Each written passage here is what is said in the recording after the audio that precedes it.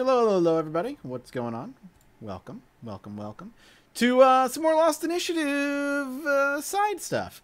Uh, due to the holidays, uh, a few of the people are just unavailable today. They're still with family, traveling abroad, and just kind of doing their thing. And you know, we're not gonna be like, "How dare you not be here?" So let them have fun, enjoy their family. But uh, How dare you not be with your family? I mean, you know, or how dare you be with your family? Dare you? That one. No, not not the other way around. Um, but uh, me and Scott want to do something tonight, as we kind of did last night, and um, just hang out and uh, do some some D and D stuff. And I think Scott and I have uh have settled on doing uh some some world building stuff for a future campaign or just for fun or or whatever it is. Because we were talking a little bit about um just like future campaign settings that we'd like to play in last night. And uh, we might as well flesh one of those worlds out, at least to some degree, and have a little bit of fun with it uh, along the way. Um, I think we, we decided tonight that we're going to be tackling uh, uh, the steampunk world that we were talking about last night, correct? Yes, sir. So I've never world world built with you specifically. I've, I've world built on my own before, so I'm curious how, How, you how go much? about How it. much world building have you ever done before? Uh, quite a bit, um, just for fun. Um, maps, backgrounds, histories. I mean, for the cartoon, I wrote like a, a kind of like a short history for for that world. Uh, I've wrote a couple of like fantasy world stuff for fun all through high school and college for creative writing and stuff. So I've done it a bunch, but usually it's uh, unsurprising to you, like probably just like lore and just story and stuff, and less about less map structure. I don't really do too much mapping, um, and I don't ever do it with a game in mind. You know what I mean? I always do it just for my own story that I'm looking to tell. It's because you were a wordy nerd. Yep, I mean? I I was exactly a nerd. Um, Well, so we're so all nerds here, so That's true. You're, you're a particularly wordy one. You're like, I like history, and Yep. and I, w- I went to college for English. I went to college for English and history. Yes, so uh, it's like kind of like the things that I'm I'm good at is is words and, and writing and, and making things up. Um, what about you? Uh, I'm sure you've done way more world building than me, and done it with D and D in mind. So Yeah, we all know that me talks good. So um, yes, you talks good. So I world build specifically with a game in mind, and never just because I'm interested in building a world for funsies. I always build it for with a game in mind. I never build quests, uh, like you know, like quests. You know what I mean? Like I always talk about, say, on the Wednesday show, the um, the way that I would do things for um, Rise story and whatnot is always just bullet points. Okay, I know what I want to do, and I'm gonna put bullet points to get there. Da da da. But that's like in a preset world. When I set a campaign, a world that I actually builds, let's come up with the um, like I said, uh, basic histories, basic timelines, where the races are, the significance of them is in the world, da da da da da da da, uh, and put that down on paper. So I make it a long form format. I never really had to before because I never really had to worry about somebody else seeing my notes. You know, what I mean? Right, right, kinda like yeah, yeah. I had it here and I had like the little bits to kind of get things up. As for maps, I don't map. Um, not not because I don't like maps. I love maps. Um, I I I can draw stick figures. Yo, straight up, I, I I would say for mapping, um, one of my favorite tools to use that I've used in the past just for fun is literally Dwarf Fortress. So Dwarf Fortress, i- if you don't know what Dwarf Fortress is, uh, it's a game that has been it's free to play, been in development for like 20 plus years. It's less a game and more like a fantasy world simulator, and that's what they've they've been going for. Um, and the way it generates the world is it it it actually tries and generates the world like 10, 20, 30 times before it comes up with something ideal. And then it'll run simulation of weather effects and all this stuff and create naturally occurring rivers and oceans and stuff. Like the, the map that it creates is as realistic as it can get. Uh, and I love using that as like just a map generator. Um, if and, and you can plant the world onto that.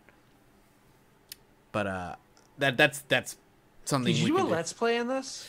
Uh, I never did a let's play on Dwarf Fortress. I did a couple of videos, kind of just like gushing about what I love about that game, though, and how deep and complex and interesting it is. Okay, because I know the name, but I think I know the name from you. I mean, Dwarf. You might know the name just because it's a game that's been around for a very, very, very, very, very, very. Who long would I talk to that would play this game? Maybe Yeah, Pat. Other, other than you, uh, maybe. maybe he I mean, he was into retro games because he's like nine years older than me, so they were weren't retro when when he was playing them. You know what I mean? Like, it's one of those games that like I could sit here and talk about Dwarf Fortress for hours. I, I think Dwarf Fortress is a phenomenally interesting and complex game. It is a simulator that that no other simulated game has ever reached the depths of. Yeah. Um, I mean, each individual like what I like when you generate a world, you generate you dictate how many years of history you want to generate. Uh, and each individual character is tracked. Every item that is created is tracked uh, throughout the world, and you can find like, and you can go through. Then after it's generated, you can just go and open up the history of the world and find when some magical artifact was created, who it was created by, and then find where it went and how it got there and what monsters got it during like a war or something. And it generates these wars and all these characters. It's yep. wild, man. It, it's such a cool uh, program. I fucking love it. That's cool. Well, uh, I can say that most recently, when I because there's maps I needed to be worked on for a different game, I said, "Hey, Control Alt Frank, I need a a map. Um, here's some details. Creative liberties. Go. Have fun." and that, that was that was like because again, the exact map and how it's situated and stuff like that has never really mattered to me. It's because mm-hmm. you know um, history can you can kind of like flesh that out as you need to. Usually, PCs aren't playing a game on a macro scale. They need to look at a, a map of a of a planet or even a continent. Yeah, you know, they're usually barely looking at a map of a country. You know, yep. more, more you know depends on the game, right? so again, all right. So uh, we were talking about doing something that's kind of uh, world building in our uh, going for a steampunky s game. So yep. even if the, this game isn't the one that we play first, even if we do Star Wars or something else, we will eventually get around to play playing it. You yes. know what I mean? Yep, yep. So uh, might as well start there. So uh, I suppose uh, the first thing that I always like to do is uh, usually when I build anything, characters, whatever, I find something. I get like a, a bug. You know what I mean? Like in my head. You know, mm-hmm. I have I have ADHD, and one of the things about ADHD is you have the uh, deficit um, the um, attention deficit, right? You're like, oh, I, I, can't pay attention, but then like you also have hyper focus, and so like sometimes I get like a bug, and I can't get this bug out of my head until I scratch it. It's like I have to like delve into the I call it the rabbit hole, or I just like tumble forever until like I finally finished. Yeah. But usually that bug comes from some like twing of inspiration. So again, if it's like a character concept, I'll like be like, do, do, do, do. I, I see like a picture online. I'm like, this picture is a character I need to create, and I'll be like, yeah. fuck sleep and, I, will literally spend like the next nine hours making this character, despite like the fact that I'm like I really need sleep, and now I'm getting one hour instead of like the because then you can't you can't stop thinking about it is the problem. Exactly. It's like yeah. it's like if I lie down and close my eyes, I wouldn't be able to sleep anyways. So might as well work on it. Yeah. So um um usually what I do is so I suppose the bug is usually the start, and so I come up with a concept, an idea, like a, a feeling more than anything else of what I want to do. This one is um is the idea of running with a um um, a steampunky world. Yeah. So um, when you think steampunk, you know, obviously you have your mix of techno and magic. Um, the we've seen examples of this before. Uh, Full Metal Alchemist is a great one. Mm-hmm. Uh, you and I literally just talking about Iron Kingdoms last night. got the PDF. Mm-hmm. Um, uh, it's a game that you've owned for a long time. I don't think we ever played. it. No, we uh, we never played it. We flipped through it a little bit, and uh, we liked certain aspects and didn't like others. But Shadowrun, which I believe you own the book to this 20 uh, the uh, the 20 fourth? version of it. Yeah, the fourth, fourth edition. edition. Yeah. So that kind of so I, am going to turn this to you uh, for this part, this initial yep. part, because we all understand what steampunk is. For you, ideal steampunk world. Uh, what's the uh, societal focus? Because obviously there's like schisms and whatnot here and there, but like the societal focus, like the big overall, are people more pushing towards the machinations, like the, the so the, the, it's funny that you actually say that because my first question in my mind, if we were like, all right, we're gonna approach this kind of as a blank canvas world that we're creating, the very first question I have as far as history is what came first? Was huh. magic always there, and then they eventually kind of created technology, or did they get into the industrial era before magic was discovered? Because that hmm. will completely dictate how the world is built from the ground up and how culture is formed and uh, how reliant they are on magic or how reliant they are on technology. So yeah, that, that's my first question too when when we talk about steampunk is like, okay, what came first? Because that will heavily dictate how useful it is. Because if we say uh, they hit the industrial revolution before magic was discovered, you're gonna have people who will swear off magic right from the get go. They will never touch magic in their life I know which one I prefer, but uh, so I already kind of have it in my head. But you please keep running with what you got. So you know, I already had it in my head. Yeah, yeah, no, no. I'm just saying, like that. uh, But if magic has been around since you know the ancient times and the industrial revolution happened after magic was around, then you're really not going to come across people who are going to be against magic. You'll have people who find technology more as um as a uh, an interesting kind of like novelty. You know, oh, technology, how novel. We have these spells that can do these wonderful things, but technology, in a very complicated way, can do the same thing magic can. Um, I don't know what one I prefer, to be honest. Uh, I think they both have their benefits.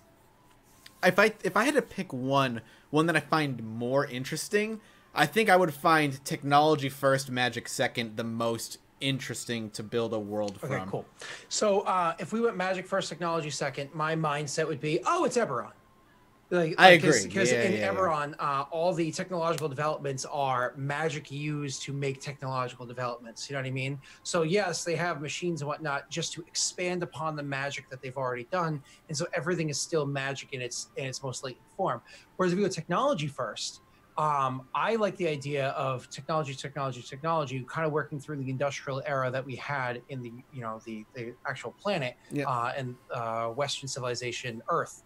Um, but then, like, uh, much like how we always talk about like pollution and whatnot that comes out of this, I almost imagine one of the pollutants that came out of the industrial era was magic, and that it took some brilliant person, some like genius person, to realize, wait, what is this byproduct, and how can we use it? There's something unique about it, and so that that's when they discovered this is magic in its most raw form. And there they were able to kind of expand upon it. And then it was Mhm. uh, a matter of you know at first it was again byproduct of making x created y you know what i mean? Yeah. but now it's no now we can actually just make y be the product in which case then what is the byproduct of y? What is z? You know what i mean? And so it, it can be like a, a, a forward propulsing thing. Uh, and i like the idea of doing that like you were just saying um, the idea of magic being still kind of newish um, is is nice because you're going to have people that again swear off magic like oh this is a, a, a nifty cute little thing. What is this? And then they're going to be like whole societies of like imagine if magic exists in real life. Mhm. like it doesn't but imagine if it did. You know um, uh, every person that ever hoped that magic would exist would feel like you know oh my god this is like there'd be like cult followings of you know and so it makes this really cool societal like bubbles would have form and whatnot from it um, but then you always think of your steam engine-esque creatures warforged from uh, Eberron. The idea that you have this these robots that you're already trying to create but never succeeded, but then you created them and threw magic into them, and now you've got this like you know automaton. You know Mhm. what I mean? Yep. Yep. So, so are we in agreement on that? Yeah, I think we're on agree- in agreement that tech first, magic second is Okay. probably the more interesting, intriguing option. How long ago did magic come about? Are we talking decade? Are we talking century? Like how uh, infused into history is magic? I would say probably about a century, because that gives it gives it time for magic to influence rulers, uh, mayoral or kingdoms or whatever. If it was if magic's only been around for a decade or two, you're probably seeing magic influence rulership. But if magic's been around for about a decade, uh, then you have then you have the opportunity for rulers to have ruled with magic for decades, uh, and that'll create separate city states and that kind of thing. Um, Prior to the creation of magics, uh, did things like because we're going to industrial revolution era, Yeah, kind yeah. of is when it came out. That's uh, the general feel we're going with. yeah, I think that's that's about right. So things like cannons and firearms and stuff like that existed prior to the creation of magic or the Yeah, discovery yeah, of yeah, magic. yeah. I would say that. I would say Okay, that for sure. How about races? How do you feel about that? I mean, are we going with the world was human and then magic somehow let other things in? Or are we going, no, no, no, no, no. It's it's fantasy, steampunky. They were always elves and dwarves and gnomes and shit. Maybe magic let other stuff out too, but Yeah, I mean, so that's the other thing too. We could that that's interesting to debate or talk about. Um, because if we say yeah, elves and gnomes and stuff existed, um, then you have the question of like, well, did magic exist thousands and thousands and thousands of years ago and was completely forgotten and lost and only recently rediscovered? And that's why these other races exist. And they could, you know, there's humans, there's elves, there's dwarves and gnomes, and all this stuff. Um, and then magic was lost eons ago and only recently resurfaced, or do we go all humans? Or if if we do go elves and dwarves and gnomes, like, does magic have to be involved with the reason that they're around? Um, I don't know. What are you? What are your thoughts actually on that? When you were describing that, it just makes you think of Full Metal Alchemist. You know what I mean with the split world. Uh, Oh, yeah, yeah, yeah. And whatnot. So, uh, which I think is funny. Um, uh, no, yeah, I mean, it's magic has always existed. I, I think it's just one of those things where it's always been there. It's just whether or not people have been able to tap it. The Mhm. idea that for some reason it was lost at some point in time makes perfect sense. You know what I mean? It's like we still today sc- discover things that people have known for for ages, right? Mhm. Like, um, here's a, a really lame example. Uh, when I make kale smoothies, because sometimes I go through awesome kale smoothie kicks, I also put um, what are they chia seeds inside there. The Aztecs were using chia seeds for their warriors thousands of years ago, and they knew of the benefits of chia seeds. Yeah. But we discovered it recently as a Western culture, like what, 30 years ago or something? Yeah. I mean, You mean, know what I mean? you know, and that that for me, like a lot of the fun part is, oh, if magic existed thousands of years ago, what caused it to be lost? You know? and- Yeah, yeah, yeah. And that, that's that's the point I was getting to is what was the downfall of magic? Why was it struck uh, struck from the world? Now, if we're talking about magic and uh, uh, mechanics, are there gods? Is there divine energy? Are those gods like Eberron gods, where you can worship a chair, and if you believe hard enough, that chair actually gives you magic? Um, or are they like Faerun gods, where, dude, you worship a chair? That's not magic. You're wiggling your fingers, and the mouse decided to fart on its own. You know what I mean? Like, Uh, So- As far as my preference is concerned, uh, in in campaign settings, I like the idea of deities existing, personally. Um, again, because that opens up doors, in my opinion, as far as like, well, if deities exist or existed, and then magic was struck from the world, did the deities also retract themselves from the world, and what was the cause of that, and why did or why did they remove magic, or why did they remove themselves? Um, there could be a whole lot of fun things you could do with that, and have have with with magic only recently reemerging, have the gods recently reemerged for the first time in thousands of years as well. So that, that begs the question: assuming there are gods, assuming the gods uh, are um, at least have emerged again, whether or not they've been there the whole time, who cares? Um, are they uh, very relevant gods, like gods that you could bump into the avatar of? Mhm. Again, maybe not so as often as Faerun, Right. but a god wherein you could actually bump into its avatar, or are they like, yeah, there's gods that exist, you and I know that because we're creating the world, but like players don't meet them generally, not unless they're epic level. Like, what do you think? I don't know either. I don't like. I don't like the ideas of like. Like, are they Greek gods or are they like the Christian god? No, what I know- mean? I know what you're Nobody getting at. sees the Christian god, but everybody saw the Greek gods. You probably had three of their kids. Chat says, why not do incomprehensible Lovecraftian gods, bringing back magic with them? That could be an interesting twist as well, actually. Yeah. Never really thought of it that way. Yeah, yeah, yeah. Um, I don't know. I don't like the idea of like Faerunian gods. Like Faerunian gods are the idea like they're cartoony, but they fit that world. Faerun is a very cartoony fantasy world. Um, there's there's there's a nice middle ground I think between like Christian gods and Faerunian gods. You know what I mean? Mhm. Like occasionally, very rarely will a god make contact with the mortal plane, but Mhm. there are accounts of that happening. Um, but it doesn't happen often. That kind of Mhm. thing. So I Okay, guess I err on the side of Christian God, you know, as as it wor- as it works. But Doesn't just have to be Christian. It could be as know, I'm just you know using that as one of the three example. sisters. You know, any one of those religions. They're all the same. It's all the same God. Chad also asks, um, somebody can ask, uh, did the discovery of magic halt the advance of technology? Uh, I would say no.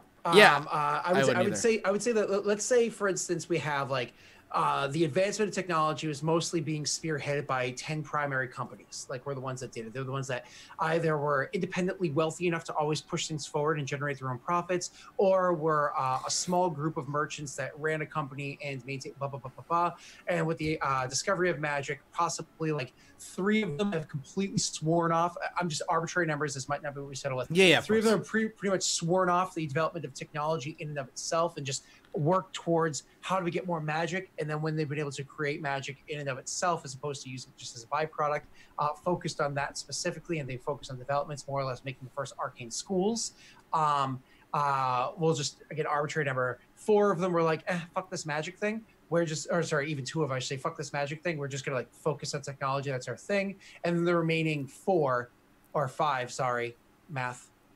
What did i say originally? 10, Thr- three Three. and two is Yeah. five. So the remaining five would be like we do a blend of the two, and Right. that's where you have like cannons with like you know uh, cannons that could summon cannonballs. Yeah, yeah, mean? Like, magical pistoliers and all that kind yeah. of thing. So so again, and that's all arbitrary numbers. But I imagine it's not like all one way, all another way, just two ways. There's going to be a blend. There's always going to be a gray area, and Yeah, I of love course. I love the muddle of gray. You know what I mean? Yeah, I agree. Um, so let's. Uh, do you have a just start writing some of this stuff down so we at least have like a baseline? Absolutely. I forgot to load that up. Um, give me one second. Obsidian portal. What? Why are you going there? Shh. It's not happening. Um.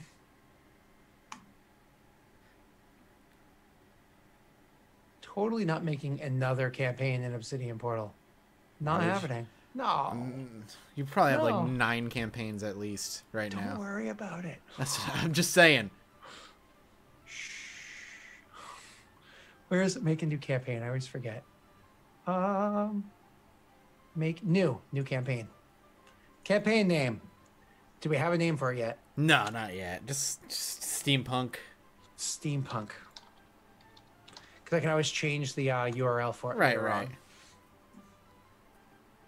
Would Warforges be byproduct form? Uh, would would Warforges be b- a byproduct from magic reemerging, or made by people using magic when it, eh, after the reemergence? Um, I mean, there's probably both. I uh, there's probably examples of both. I guess it depends on how the magic reemerged, and did it come out in like a a way that was uncontrollable? Was it a resource? Like, ley- did we tap into ley lines? That is that how we discovered it? I'm I'm gonna I'm gonna answer that question as I'll get back to you on that one. Right, And that's because we're ground up world building. You know what I mean? So yeah, yeah, so yeah, yeah. Very much, and I'll get back to you on that one. So uh, let me go over to the wiki area of this, and we're gonna start setting some shit up. So uh, the first thing that we're gonna set up in my uh, area. Um, so Mathas, uh, Hello. the world we're saying it was. Um, you know, do a, uh, a page called Ages. Um, page called Tech. Uh, page called Magic. I'm gonna uh, invite you to this in a second, uh, even though you'll probably never look at it for a long time. I'm gonna do most of the writing. Uh, Ages, Tech, Magic, uh, races. I'm gonna clean that up later on. Um, I think that's all we need right now. Anything else that you can think of? No. Yo, gotta- why is my internet so shitty right now? It's getting internet connection is unstable. yeah, I'm so getting that too, actually. Oh, are you? Yeah, that's really weird. I keep getting this thing on my monitor that says internet connection unstable. Yeah. I wonder if that's it- Zoom. It's a Zoom pop up. No, my, I I did a quick stream earlier, and oh my god, it was garbage, like absolute garbage. I wonder if the weather is affecting it, though. That'd be weird. Mathas, oh, Mathas games. There you are. And then because it never works, so I just send it. I'm gonna send a reminder, send a reminder, send a reminder, and no rush. You'll get there when you get there. Sounds good to me. Okay. All right, ages. So for ages, we're gonna have um, uh, pre uh, tech. Then we're gonna have um, was it like industrial? Yeah, like the Industrial Revolution, more or less. and discovery of magic.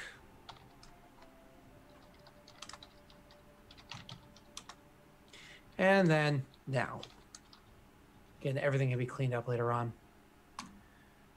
All right, so um, during this time, the magic of disco- the discovery of magic. Let's talk about that for a second, and then we're gonna because then we're just gonna roll into talking about races. Um, how was magic discovered? What actually, what was the thing that caused magic to be created as a byproduct?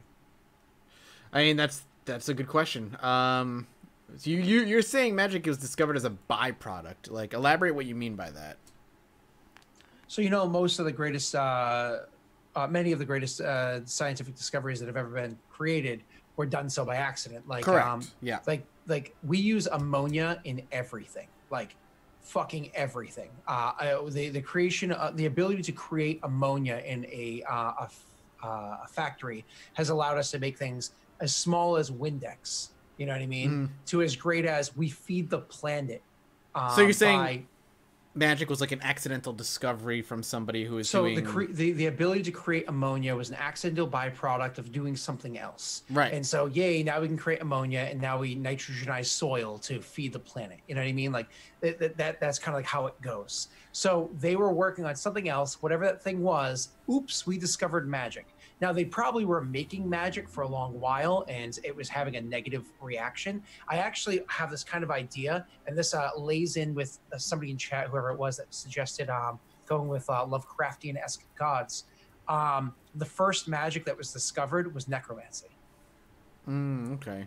And the reason why the reason why I want to go with this is magic has been around for hundred years. I like the idea that no, whatever it was that they were doing that discovered magic has been around for longer. It's just much like corporations in, in real life, right? Um, the byproduct was killing the people in ways that they couldn't figure out.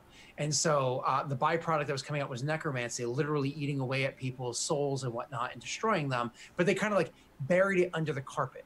And then eventually, when somebody did enough discovery, they were able to realize there was more than just that there. If they just changed the way that they were doing whatever this was slightly, instead of necromancy coming out, other school of magic was to come out, so on and so forth. We don't have to go with your standard Dungeon Dragon schools of magic, but we all understands the difference between negative versus positive versus this versus that, right? So Yeah. Well, I mean, we're building a world. Uh, I, I guess yeah, that doesn't matter. We're building a world that can hopefully just fit into whatever rule system we choose to play it in. whatever rule system we choose to play in, exactly. Yeah, yeah, yeah. So, um, actually, I think in Iron Kingdoms there was like a, a rule with necromancy, wasn't it? Uh, let me check the PDF. I think there was like an actual specific rule, like it was super illegal, and like I think there there was like a, a penalty to casting with it. But that's just top of my head from us having a conversation eight years ago. You know what I mean? Yeah. Um, so continuing on, I like the idea that whatever it was that they were working on did this. So what were they working on, Mike? What what was the? Is this a don't know, material? is this like a, an ore they were mining from deep down in the the, the earth? A specific type of um of like ferrous material. I feel like that's the easiest explanation. It's super easy to be like they were mining and they kind of hit like a ley line or something, like you said, a material that. Uh, Ooh, what about crystals? Like maybe they had discovered a new type of uh, uh of crystal that was a uh, like a superconductor. Mm-hmm. um and but the thing is like these crystals are actually uh, not, are not just superconductors but like they are effectively magic crystallized you know what i mean Yeah. and so by working on them they were releasing the natural magics that were in them they didn't realize that that's what it was and now they've realized that these crystals can power everything my only again uh, holdback to that is crystals is such an important part of Eberron. I was gonna Uh, say that's- that's wanna, like- yeah That's a, that's very Eberron esque. yeah, so it doesn't have to be a crystal. It could be a specific type of metal, which is one of the reasons why when you think of magic items, what is a magic item? Well, there's a war forged made out of metal. There's Right, a, a, a, a magic pistolier with guns made out of metal. So, basically, a magic sword. So uh, basically, they discovered a certain type of metal. Foxvert saying a superconductors for arcane energies, like a metal that's like a superconductor It's of like they, sort. they thought it was a superconductor of electricity or their earlier forms of electricity, right? But there, it was also it also is like a harder, like a almost like a either magic made material hmm you know like like magic materialized so condensed like uh imagine like a uh like air you know it gets so uh condensed it becomes solid right Yeah. um um or like uh, uh, just like a super magnet for magics Right. Right. Yeah. Yeah. yeah. so the discovery of like a new ore that Yeah. that metal and uh, just easily attracts magical energies or what what have you. okay so then that being said let's say there is this ore um uh how long has this ore been known of?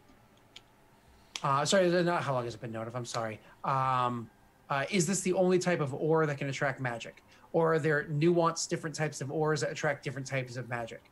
Just like there are different qualities of iron you can mine. Would this also mean that all wizards and whatever would have to have this metal on them in order to cast spells? um, in dungeons and dragons uh, to cast spells you have to have material components or an arcane focus Yeah. to be a, wi- a cleric casting spells, you have to have your divine focus. Right. Right. So we're saying just because that would limit. I don't want to say limit. In Harry Potter, you have to have a magic wand that has built into it an Uh, arcane, arcane focus. focus. Yeah. Yeah. Yeah. So that would I that don't would I don't think it's limiting at all. I imagine that a wizard's book um, has the, the the words in the book are written in an ink that is comprised of uh, powdered version of this metal. Yeah. No, no, know I, I like no, I like that. I, I'm not saying that I like that. I, I don't like that. idea. I actually really like that idea. Uh, it would also immediately create competing companies selling that particular metal and claiming theirs is better than others and this, that, and the other. Theirs is finer, purer. This answers uh, one of my questions. So we're gonna go with the metal. Uh, chat, if you can help us come up with a name for this metal, uh, assuming there's only one type of metal in the world, And then you get, like, wants different one, differences. A shitty us come up black, a a shitty black market version of the metal that gives you penalties while casting, but allows you to cast even if you're not a caster. Yeah, yeah, it's like it's like uh, if I remember correctly, like there's this one mountain range in Japan that has the highest quality, least um uh like the highest quality steel in the world, right? Mm. Uh, that or sorry, iron in the world. and It's made for used for making like the best steel and whatnot. But there are other mines throughout the planet that have other quality iron. I imagine something like I just get a really shitty version, you know. But this answers one of my questions. There are other races. They have existed for a long time. Dwarves have actually been using this metal for a very, very long time and didn't realize that what it was is magical. They just understood that dwarven products were always the best, and nobody knew why. Because dwarven products have had a small amount of this metal thrown into it. Because again, what is what is um, smelting? It's mixing of different alloys together to make, right? Um, uh, sorry, to make different alloys or whatever. Hi, Maggie. So, what's up, Max? Um, so the um, uh, So somebody brings the, up a the dwarves have been doing this for a long time, which is why their materials have always been best. Someone brings up a good point though. If we go this route, then magic wouldn't have to be some innate ability. It would just be some physical tool that anybody could use. Uh, not entirely true. Um, you're talking about sorcerers versus wizards. Um, one, uh, can who can use those tools? Um, well, it requires training, just like in any other campaign system. If you're playing a wizard type character, requires an intense amount of training to be able to use the magics that are uh, latent in da da da da. I imagine the wizards use the uh, metal latent words um, as like a conduit to say the words to use the innate magics that have been released into the atmosphere.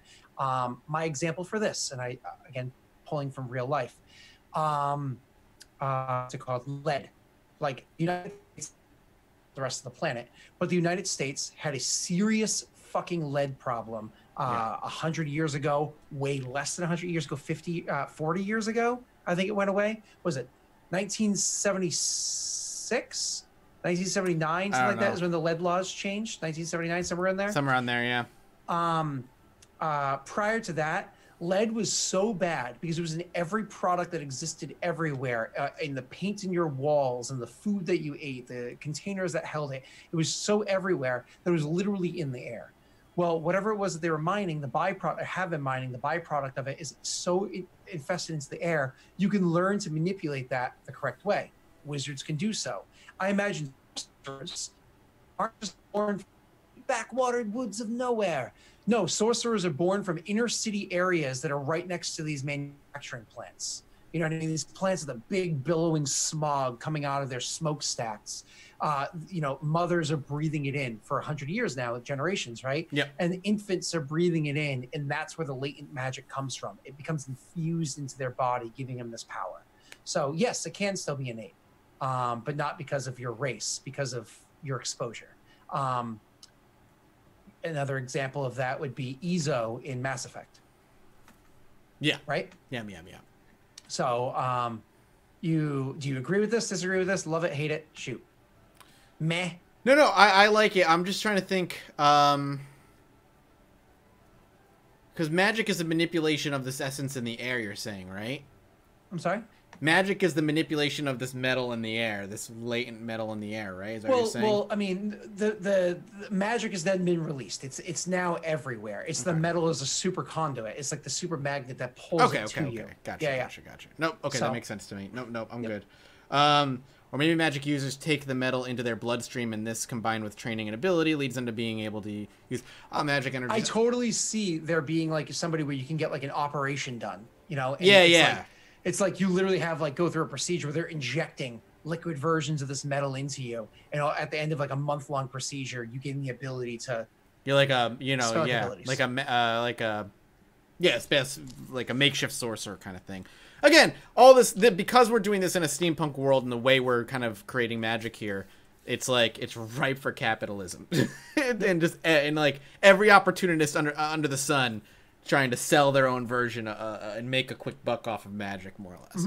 Um, fucking it's great. I love it. Yeah, I'm into it too. Uh, yeah, no, no, no. I like that. I like that a lot. Uh, I'm down for that. I'm down Okay. for the way that magic works. So, works. did we get examples of somebody said, uh, "Oh, Breland, we are not naming it after you. We are, we are not naming." Uh, he's the one that I told you dropped the trump card last week and killed one of my PCs. Oh, okay. Uh, So, so, so yeah, no, uh, no. Uh, someone said Netherium, uh, Zion metal. Um, someone said you call the crap version of it that's sold in the black market slag. I actually really Oh, like that term. I love that. Yeah, me too. oh my god. Yeah, awesome. I like slag. Like- write like that down. Just write slag. yep, slag. Absolutely. Let me go back. Slag Uh, came from um, Jimbo one six nine. So it's called the crap metal slag, which I like. Uh, Arcanite, Arcanium, Sorcerite, uh, Sorcerium, Slag, how, how's uh, slag two Gs? one G. One G. Yeah, yeah. Uh, how would Warlock work? Well, this is right now, Elof. We're not really building it around the D and D rule set. We're kind of building a world that, that we can then retrofit into whatever rule system we want. Yeah. Uh, I'm not, I'm not worried about uh, concepts like warlocks. In my opinion, like if you're not playing Dungeons and Dragons, a fucking cleric is a warlock. You sold your soul, man. I don't care. I don't care what you say. A cleric, a paladin, uh, they sell their soul to have the power that they have. You know what I mean? With their with their uh, div- with their you know uh, faith. Uh, warlocks do the same thing, but instead of to gods, they do it to um, uh, other Uh, eternal creatures. So Sex says, uh, if magic only started to exist, how has society been dealing with giants and trolls, or do they not exist in this world? so that, that's bringing me that I was getting to when we kind of sidetracked again. Keep seeing if you see a great idea for the different tiers of metal, let me know, or Yeah, use yeah. its raw name. So getting back to it, um, the uh, definitely there was more than just humans. Um, uh, dwarves have definitely existed for a long time because, like I said, they've been mining with this, and I actually imagine, excuse me, when this discovery happens, um, things changed because whereas dwarves always had the best quality product when this happened i imagine that there was a merger like coming to this realization uh, that holy crap this metal has more than just making high quality products. It is magic involved in it too. And the best mines of this belong to the dwarves. We usually buy the ore off of the mines and use that for our manufacturing. I imagine a couple of the companies merged and bought out the dwarven mines to take it from them before they fully realized what it was that they had. And now dwarves in general, uh, because of like the like very quickly in the very recent past, I've gone from like, oh, you know, they're just living their normal lives, capitalist, blah blah blah. To the mines were all bought out from under them, and they were like either kept as low wage workers uh, Mhm. in the mines or completely shoved out of them entirely. And so dwarves have been in the past hundred years less than have gone from like being a perfectly normal accepted race to being super disenfranchised. Gotcha. You know what I mean? Yeah, yeah. I, I look because in what world are the dwarves the disenfranchised ones? You know what I mean? Usually they're well, relatively well respected. in the So, Dragon Age Origins world and in the Witcher world. okay, Witcher world, yes. Dragon Age Origins, they're they? Yeah, I think dwarves are They, pretty they have like two kingdoms Age. in there. Yeah, they and don't don't dwarves have kingdom. Uh, do they? Well, they have one kingdom, I think, in Dragon Age, And I, I beat the first one. but I can't remember. Which one was the first one? Just called Dragon Age. Dragon Age. Dragon Age Origins is what it was called. I beat that one. I didn't play the second one. Because like elves were called knife ears and that kind Ah, of thing. Uh, Anything that wasn't human was looked down. Yep. Very okay. Anyway, uh, yes, uh, that's fine. Um, So, so moving on, uh, trolls uh, have existed for a long while, but do we go trolls like D and D style trolls, where they're like super regenerative and extremely fucking dumb, or do we go with trolls having been building their own society, much like um, uh, World of Warcraft like trolls? Um, I don't know. We kind of need we kind of need to make sure we have monster races kind of just wandering around. So stupid, dumb, angry trolls. Not everything needs to have a society, especially if we're gonna have elves, dwarves, gnomes, halflings, all that stuff. You know what I mean? Um, so I, I'm of, of the mindset of kind of keep them as dumb monsters that kind of just rampage in the wilds. Okay. So trolls are dumb monsters that rampage in the wilds. Okay. So uh, dwarves, they had the best minds. They've been recently disenfranchised. How about elves? Where where are they in society? I I don't know. Uh, that's a good question. Something that we need to tackle. It's is that something we want to tackle now, or do we want to keep laying the? Good point. Why don't we just uh, slap up some races that we want as our basic races that are again, we're not playing Dungeons and Dragons, so you don't e- gnomes don't even have to fucking exist. You know what I mean? Yeah, of course. So we're not playing D and D. Um. Uh, so we're definitely gonna have dwarves. You can't not. Definitely gonna have elves. You can't not in any form of game like this. Uh, definitely have humans. Again, you can't not. Um, uh, any other races that stand in your mind that you like? Let's just put this on the list that you have to have. Uh, I think halflings. I like halflings a lot. Okay. That sh- having that short kind of quirky race is always good to have. Keep placing everything but brackets. Um, halflings, gotcha. Um, I'm trying to think what other race. Oh, orcs. Orcs are fun. Uh, Half with a C orcs. or a K, Oh, it doesn't. C, fine. Doesn't matter. Uh, or is it O R Q U E? No, all right. We're not orque. Orcs. Uh, no, I get what you're saying, but no. maybe maybe the orcs are like the pinkies in the air. Right. Yeah, they're they're very They, fancy. they, they are the super capitalists. You know what I mean? The orcs are the ones sitting on the top of society, right? We are the orcs. um, Do you mind me asking what we're building a world for? Can hardly be here since this is the middle of the night for me. Uh, future campaign, campaign setting that we are um, will eventually tackle at some point. Kind of just shooting the shit uh, and and building for fun. It's either our next campaign system that we're going to be playing in, setting that we're going to be playing in, or one in the near future, um, or in the future, I should say, for Lost Initiative.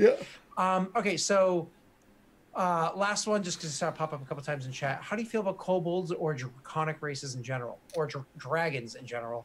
Uh, I'm fine with them. Uh, we just need an, an explanation for their existence. Creatures of legend that haven't been seen in, aeon, in, in eons, nothing but stories, or oh, dude, a dragon just flew by. Don't know. E- either one is kind of cool, actually. Um, I like the idea of them being like creatures of legends. Dragons haven't been I know you seen in in eons, but you know they tell stories like you, you, just like you know the boogeyman or whatever. You, you hear stories of dragons yeah, I mean that's fine with me. Happy to go that go that route. in kin, things like kobolds. Fuck Dragonborn. So, what about kobolds? Are you saying? Yeah, and, and Dragonborn. That that concept. Are you saying they're gone as well? Or are you I'm, asking? I'm asking. Um, uh, I don't mind that them they exist because they're at least evidence that dragons maybe once existed, Okay. but they're long gone. But drag a full fledged dragon hasn't been seen in a long time. Okay. Cool. Thanks. All right. Moving on. So what's next one we're working on? So we got a list of races. Uh, we've got the world and kind of just gone from technology and then magic discovered. We've got the conduit of magic itself and what how it was discovered. Um, what is next as far as that is concerned? So um, let's talk about the because it's important to actually build the world. Um, what is the ruling uh, race? Are we going humans are the ruling race in this in this world? I think just for ease, humans is, is always like a really safe bet. You can relate to humans easier, and that's important as a player. Um, even though almost nobody ever plays one. Um, It's true. uh, one second. Sex says he loves Dragonborn, especially Dragonborn Bard. Um, that's nice. People. Why does Scott hate Dragonborn? Abusive uh, says asks. Why do you Um, hate them? Yeah, factions is the point I was getting to. Abusive. That's a that's a the what I was alluding to, but I couldn't say that. Um, so why don't I, I? I just don't like ridiculous looking races. I think it breaks the uh, the the game. I think it makes it. I, I think it makes it goofy. You know what I mean? Like like the idea that uh, you're supposed to have this this small farming village that's just you know quiet people just trying to live their lives and and, uh, and then a dragonborn character comes walking in like oh hey guys i'm here to help you out. I won't eat your sheep. And they're all like oh this is fine. This guy can sit in the bar. We don't have negative feelings towards the person that has a ginormous tail that weighs more than both my legs put together. Yeah that's fine. That's that's normal. Perfectly like to me it's it's so cartoony Dragonborn characters are so fucking cartoony, and the modern day looking uh, Tiefling characters are so cartoony they break immersion for me. I, I'm just like that. That is like that. They're No. very video gamey. Yeah, very video gamey. It's like a troll character walking into town. So Scott's No. a literal racist. But, but like in real life, no. Uh, you know, but the thing is, like in real life, like you look at all the different types of humans and elves and whatnot, uh, races that have like proven themselves to be goodly over the course of um, eons or whatever. Good, but then you look at you know again, you're literally part demon, literally part demon. Oh, what does that mean? It means you have fucking evil in your blood. Not like, oh, come on, man. That's not actually. No, it's literally the plane of evil is in your blood. Literally the plane of evil. Yeah, but I try really hard to be good. I'm struggling with this inner turmoil. So you mean at any point in time you can fucking snap? Awesome. I totally want you in my small town. Sounds great. Sounds awesome. How am I going to defend myself against you? A pitchfork and a torch? Cool, because you have innate fucking magic that can literally kill everybody. Want you in my town? Nope, get out. And and so for me, again, it breaks the immersion to have those characters just like walk into any town. In my opinion, almost every town would be like, no, get out. And there would be the rare town that'd be like, no, it's cool, you know, as long as you don't do anything wrong. But you have to accept that as a player. Like most towns are gonna hate you. And every once in a while you're gonna find someone that's like, nah, I knew a Dragonborn growing up. They're cool people. You know? It's just uh it's like just like towns don't accept kobolds when they come walking in because of their experience of kobolds in the past. You know, this isn't racism like real life racism. Real life racism, we're all fucking human. If you think that because somebody's skin color is different, there's something wrong with you. Um, these are actual different things. You know yeah, what I mean? no, no, I get So- what you're saying for sure. Um, The question So- is, did, did the reemergence of magic bring about tieflings and shit? so did the reverse Demon magic, touched people. Uh, I imagine very recently, absolutely. Uh, however, uh, my opinion of Tieflings is most of them don't look like Tieflings. You know what I mean? They don't have these big, huge horns growing out of their head. This isn't fourth edition Dungeons and Dragons. You know what I mean? Like they don't have to look like uh, the monster from Legend. Um, right, right. So, um, Subtler touches. yeah, exactly. Uh, things like you can hide a cloven foot if you put it inside of a boot. You know what I mean? But you don't have to have a huge tail whipping around and like caressing people. know? yeah, all, Um, all anime style. yeah, exactly. Moving on. Um, uh, so uh, let's see. What were we just talking about? Fa- Factions. factions, I think initially. and before factions, what was the thing that led to that? Dragonborn, Dragonlance. What happens? Name. I don't remember what we were talking about that led to that. We were just talking. Uh, we were just kind of listing the things that we've done and what we're gonna do next. Okay. So um so let's talk about the factions. Um uh the way it needs to work out. So on planet, uh, I'm just gonna grab details of the planet really because for me I like to macro to micro. Um uh planet size. Do you want to go Earth size or do you want to go larger or do you want to go smaller? That doesn't really bother. Like that doesn't matter to me too much. Um, Earth size is like fine. What's Faerun or bigger? Bigger. Yeah. Oh no, uh, no, sorry, my apologies. Not true. Uh, fake news. Um, uh, Abeir and Toril are the same planet. They schismed. Remember, you just Right. learned this Yep, recently on. Wednesday. So, um, so uh, Abeir is actually Earth, Yeah. and Toril is is Forgotten Realms, the planet that's set on. They were the same planet, so they're actually 100% identical. Um, it's just the difference is uh, when they they split around the ages of Pangea, and then because they one has like gone through different experiences than the other one with tectonic plate movements and whatnot. That's why Earth looks like Earth, and um, Toril looks Earth-like. Yeah. You know, when you have spells changing tectonic plates. you know. Earth size works for me. Okay. I might boot up Dwarf Fortress and have it generate a world. So uh, Earth size, so you deal with things like uh, Earth gravity, all that stuff. Da, da, da, da. You don't have to worry about anything funky. Cool. Uh, with it being Earth size, how many major continents? I don't know. How many major continents? I mean, also it depends on like how you define a continent, because like the way we define continents on literal Earth is a little funny. Yeah. You know what I mean? Like Europe is its own continent. You know, it's Very not its own body of lands, but Sorry, I'm- Cool. I'm, downloading for Dwarf Fortress to gen. I'll have it generate us a world. How's that?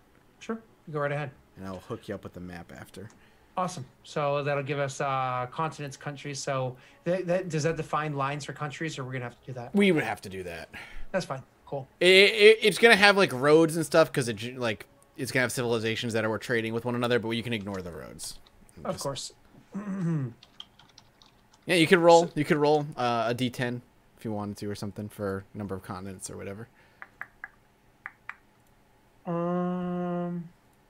So let's see factions. Uh, let's talk about these factions. Uh, first of all, the different types of factions you're going to come across is, of course, uh, government leaders, which are gonna be based off the countries, right? Yeah. Um, if I can spell governments correctly, Hang on, guys. I'm gonna lower that real quick. or what? Dwarf Fortress. It's loud. I'm turning turn the volume off. Gotcha. Um, let's see. You need the the companies. Um, you're gonna need the faiths, because obviously religion is gonna be a huge thing with a uh, rise of of that kind of magic. And then you're gonna need your arcane schools. Um, are they gonna be known as arcane schools? I mean, that's that's. Who knows? That's what I'm asking. I'm asking. I uh, mean, do you I- want them to because they're not schools. Let's be serious. They're companies. But um, are they going to push themselves or colleges? There we go. Arcane colleges or universities. Yeah, I think arcane colleges, universities would make more sense. I mean, again, they're not. They're companies, but you know, obviously, it's a, it's all about marketing, right? Um, anything else? Any big factions? And of course, you have you know like. All thieves let's generate stuff. a large region. Go. Market institutions, secret organizations. Of course, there'll be secret organizations. Um, some of it's just a secret level is getting closer to Mars, eyes, but denser. Um, does make it easier for travel. All right, so let's talk about these companies. We're gonna need crests for them and everything. So, um, how many major companies do you want to have, Mathas? I mean, that's just kind of like an arbitrary number to be pulling out of our butt right now, right? It is, but it becomes important later on. Um, one of the things that you will learn if you ever um, play Eberron is the number 13 is a very important number. you know what I mean? We're not we're not going to do that, but Well, instead of picking a number first, why don't we build companies first and have the number kind of naturally come from that? sounds great. Uh, are the dominant race just because that's the easiest way to do things, like you had said. Um, so what's the human company? You are Uh, you're breaking up like crazy. God, I'm gonna have to restart my modem, in which case you're gonna have to go without me for a couple minutes. Yeah, you're yeah you're getting very roboty and getting cut off constantly. I'm gonna have to redo my modem. This has been bad today. Okay. Can we? uh Do you want to just hit a break? Uh, yeah, sure. I got. I'm gonna. I'll leave this up for people to see the world being generated, and I'll I'll mute us and be good to go. Sure. Oh, okay. Then you don't have to be uh, necessarily going on break, but I will. All right. Bye. I'll be right right. back. All right. Sounds good. All right. I'm uh I'm gonna go let this generate, guys, and I'm gonna I'll be back myself.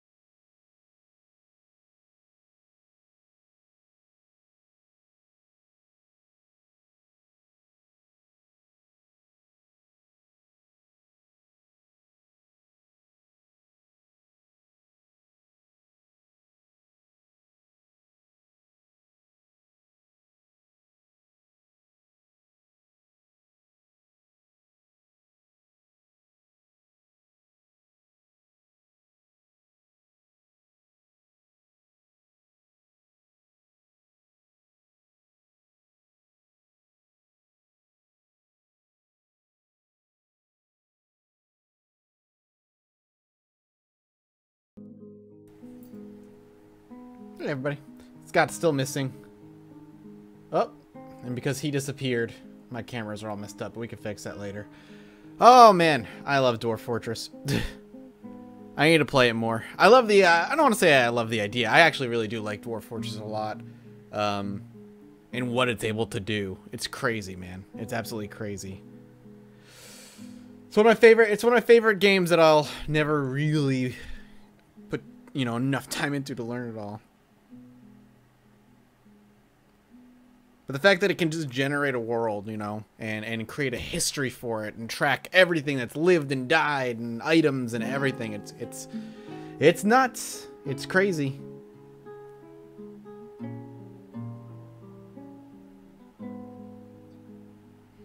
And like Dwarf Fortress is such a cool just tool to use. Like you can just use this as a map generator, which is really neat.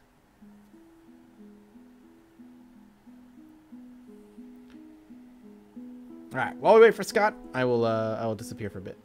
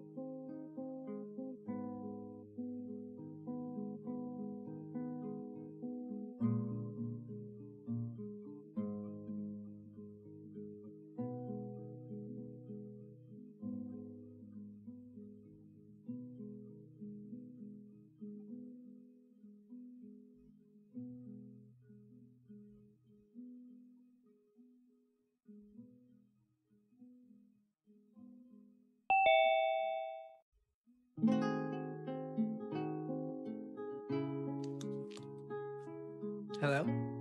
Hello. Hi. Hi. Welcome back. We're gonna minimize this, put this down here, people to while it generates.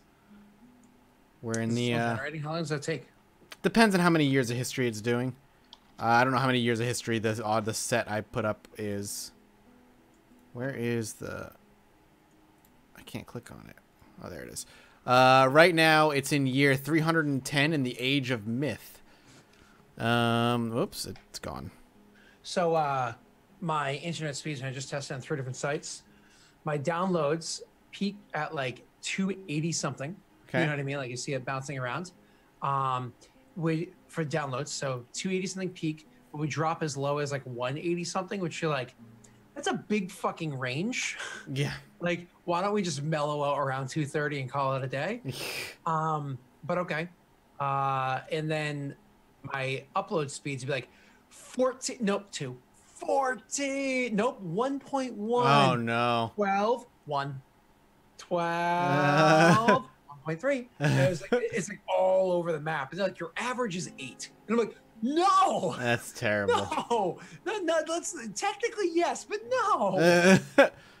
That's rough. Uh, fuck Comcast. So yeah, agreed. Fuck Comcast. They're terrible, dude. Yeah, I don't know. I might have actually done like too big of a world. We'll see how long it takes. But right now we're in the year 321, in the age of myth. Um, there's been 439,000 recorded events, 21,063 recorded dead. Uh, and we're current. It's currently focused right now on the human hamlet of Pirneath, Pirneath Threat within the Belted Steppes. Sure. That's and that's what that's what's on screen right now. Moving on. So I was uh just because I was fiddling with the idea of of obnoxious um uh races while I was grabbing something for my car and whatnot. This was rebooting. Um uh, I was like, you know, it'd be nifty uh, if our take on doing things like, let's say, genocide or genocide or whatever you want to call it, if that kind of race was to be included into the world, is that they were born a different race, but then later on infused with magics. And you can do this with a lot of things. Magics are infused later on as opposed to be born away. So anytime you're one of these uh, other races, it's like chosen to be that way as opposed to this is what I was born with. Uh, and the reason why I like the idea of doing that is because it almost makes it like in many science peoples that are like they choose to like replace a limb with like a robotic one or whatever. You Mhm. know what I mean? It's like um to some degree like a, a, a badge of honor or of wealth or of status. Mhm. You know what I mean? But to another degree, people are like, oh no, I'm Puritan. You know, I am I am unkissed by such magics. And that kind of dynamic. I, just something that tickled me, not nothing to really focus. on. Yeah. So companies. Um, let's talk about that. Did you have any good chats while I was gone? Uh, no, I, I actually took a break, went to the bathroom. So, uh, and then when I came back, uh, we're just talking to chat about people were just talking about Dwarf Fortress. So I was talking to them about Dwarf Fortress. Cool. So um, let's talk about the companies because that's going to be a huge driving factor in this world. The companies that run the things, right? Yeah, yeah, yeah. So, um, like you said, let's design companies and see how things kind of flesh out on their own, right? Yeah, I, I agree. That's that's probably the better way to do it. Um, The first company that we should probably discuss is going to be the awful company. The one that's like everybody knows they're an awful company, but like they're they're so important for what needs to be done um, that it doesn't matter how awful they are. It doesn't matter how known awful they are. They're still talked about in a good light all the time. Yeah. You're talking like the the the Exxon Mobil, BP kind of companies. You know what I mean? Like the yeah, no, they're fucking horrible and they just do bad things, but you need them and and they, they allow the world to turn. So um so let's talk about this company. Um one, do you, do you want to come up with a name first? How do you do these things? uh, no, uh, not necessarily. Um, so this is evil company. It's the one that's objectively evil of the companies, and then we can kind of worry about the gray ra- uh, gray areas afterwards, because there's no not going to be any objectively good companies. Are they? Are some of these companies going to run their own city states? Um, That'd be a corporatocracy. yeah, uh, Not all of them are gonna. Not every city state is gonna be run by a company, obviously. no, I got you, because I was I was thinking very much like originally I was thinking very much like a more of an oligarchy where it was like the companies run things, but not directly, just like they pay for things to happen and they happen. Um, I mean, I'm the sure there's there's there being there's different cities that do oligarchies and or different countries I rather. Is it wasn't Shinra? Didn't Shinra have a?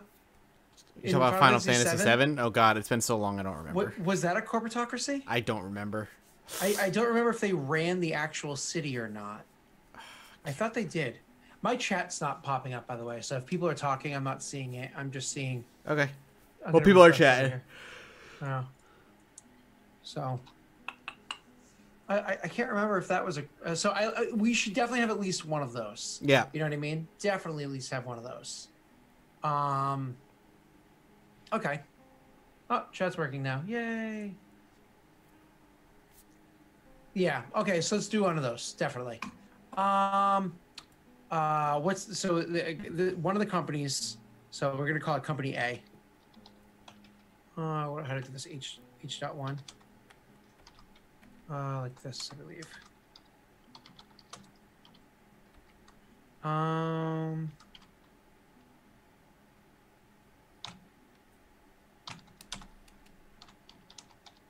What about a city state that banned technology, like a mageocracy or something? Yeah. I mean, it's uh, I don't. I, I mean, uh, a whole city state, no.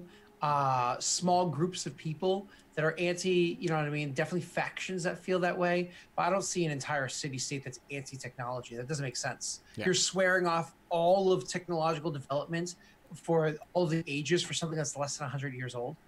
I mean, um, I can see if you wanted to do like um, elves are like the super naturey people, then you can be like all elves are anti-technology and have been forever. You know what I mean? hmm Um, you could do something like that if you wanted to.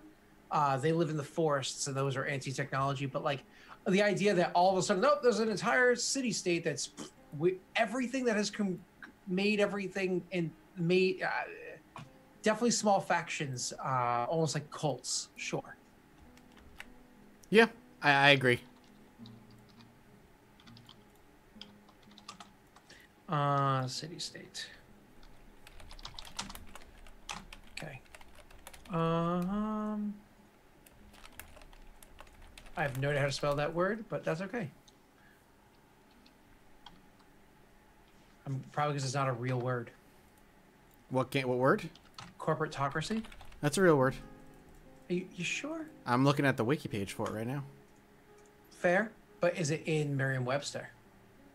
Uh, I don't know. is it an accepted word? let's find out. So moving on. Uh, so this big company A, the evil company. I'm actually going to call it Company E. Company evil. It's in the Oxford dictionaries at the very Oh, least. there you go. If it's if it's accepted into a uh, well-respected dictionary, I can say nothing.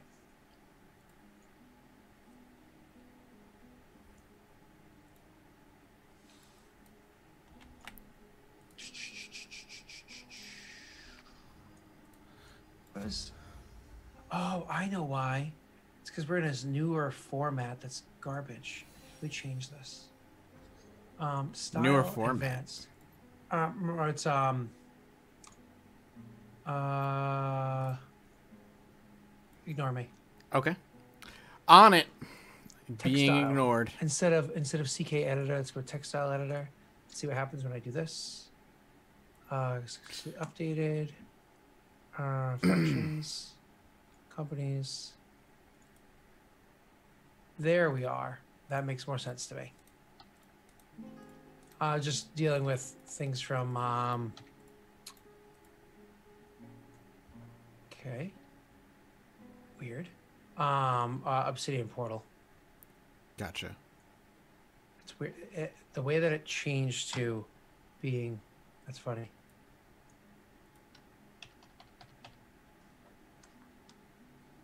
So corporatocracy, city state. Okay. Again, weird. See how this pops out now when I check it out? Still not working. What am I doing? What am I doing wrong? Why am I stupid? Oh, that's why. Okay. Again, don't mind me. Just remembering how to work a program. No problem. Everybody has their own markup. Yeah. There we are. Company Evil. All right, so let's talk about Company E. Um, give me the details. Give me what, how you feel about that. Do they own? Um, are they the ones that own the the richest, the, the the best mine out of all of them? Do they own like a whole bunch of other ones? What's their plans? What is? Talk to me about corporate, the big evil bad company. I mean, evil's in the eye of beholder, right? Uh, No, no. This is like I said. This is the objectively evil company. The rest of them are going to be all gray and it's beholder bullshit. objectively evil. Like they're Uh, the ones that have slaves, effectively. Like why- they're, they're corporatocracy, then they're- city state garbage. They're why don't you consider themselves the ones that ended up buying out the dwarves then? Buying out their mines. Sure. Um, not all of them, but bought out most of the dwarven mines. Okay. Right, right, right. right. Um,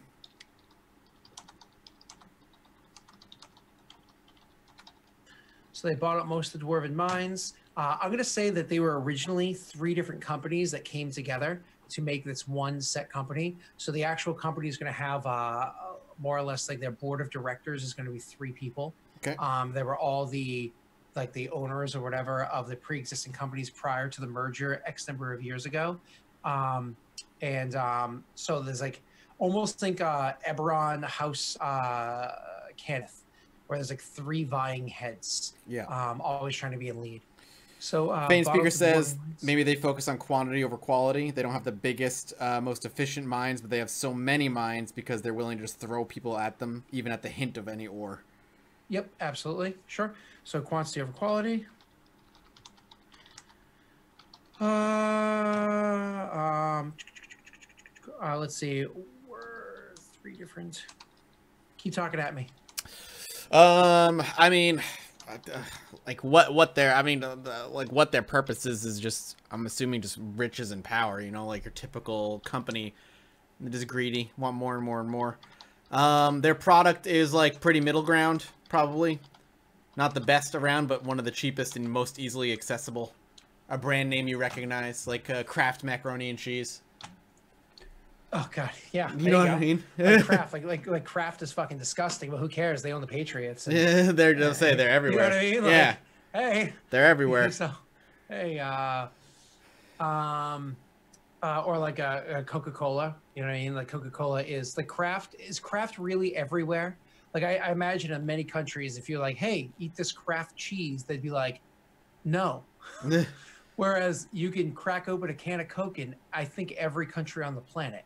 You know what I mean? So Uh, take Um, real life examples for how evil the ind- the industrial revolution could have been. Union scabs straight up firing your employees when they want to be paid, the shirtwaist, uh, coat factory fire, etc., etc.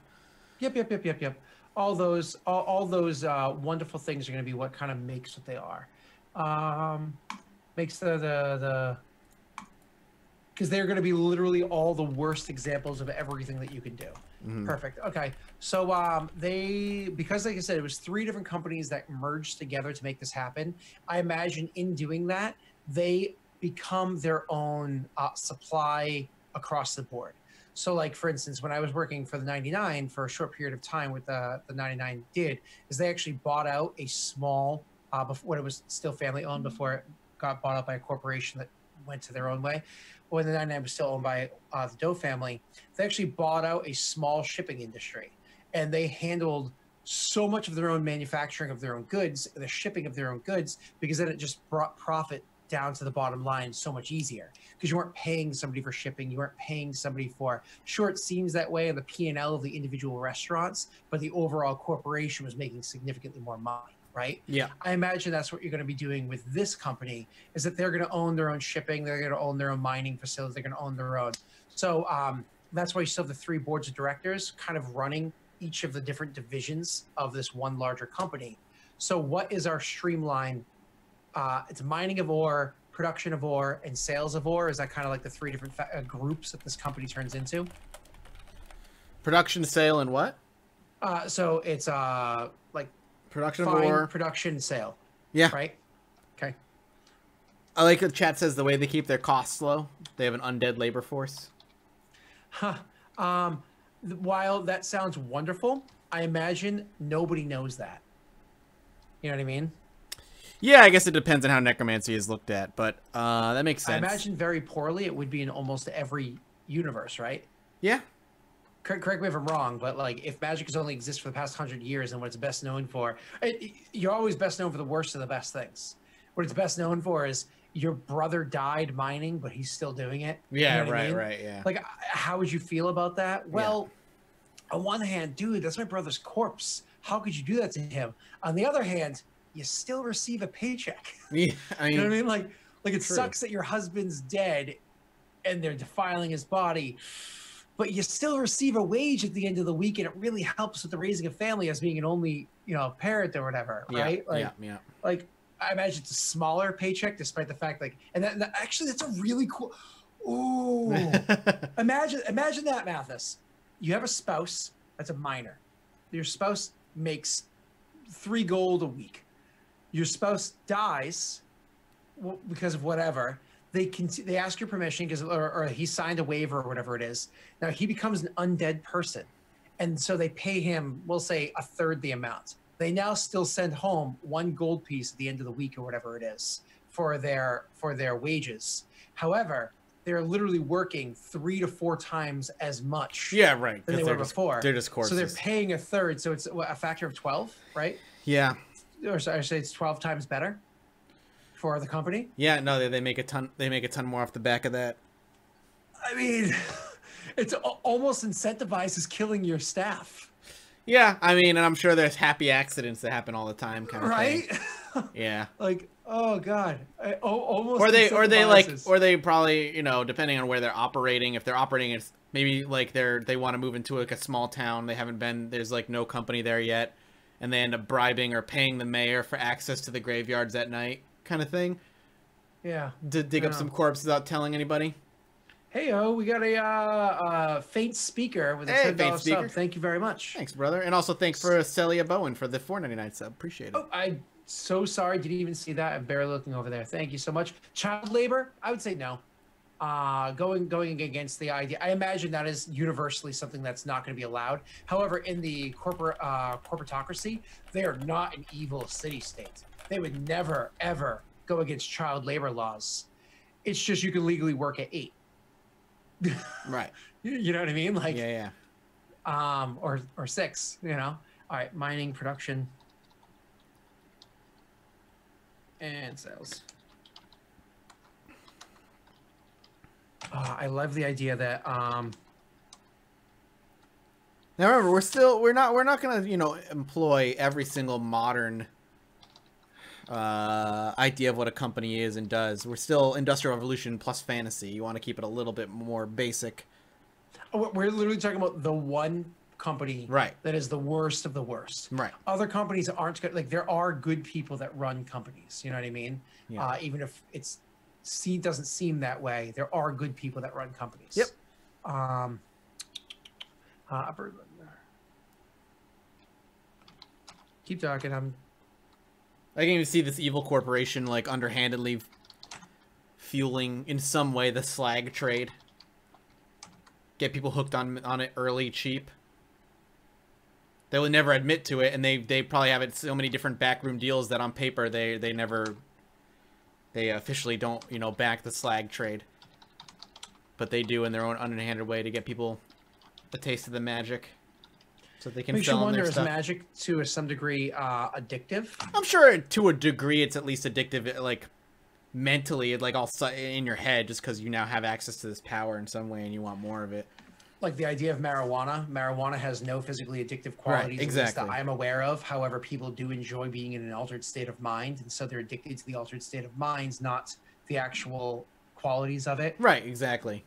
Yep. So, um, I mean, I, I imagine that you feel powerful because you have this. Especially if you're like, you know, 25 years old, never experienced magic in your life, and now you get your first hit of your first bit of slag or whatever it is. You know, again, details worked out later, and you get a taste of what the arcane is like. yeah. addictive or maybe insanity inducing. I always liked the Um, idea of magic causing insanity, but not in a game. Like for novels and like storytelling, I love the idea Sure. of magic being something that can cause insanity. But when you're playing D and D, that introduces risks and, and, and to a lot of work that you might not want to do. It's one of the reasons why I'm not a big fan of Call of Cthulhu as a concept that I like for long form games and like in shorter form games because the idea that every session there's many chances you can go crazy. Yeah. It's like ah, to, to me it's like again if you have like one really good story that you want to tell, awesome, to tell that story. But I can't Call Cthulhu week by week by week by week by week for my life. I, it's just always going crazy. It just isn't fun Yeah. for me. you Keep in mind, uh, So, um, chat. The way at least I'm seeing it is like slag doesn't just give you access to like spells. Like uh, a sl- like whatever you end up buying is infused with a type of magic that would give you access to like a spell once or twice, lifetime oh, please, total. Please, I want everybody to understand. I, in no fucking way uh, is this going to work out. Like, I, I do not see the system running in Dungeons and Dragons. Yeah. That being said, when you have magic, you do not have spells. Right. You do not have.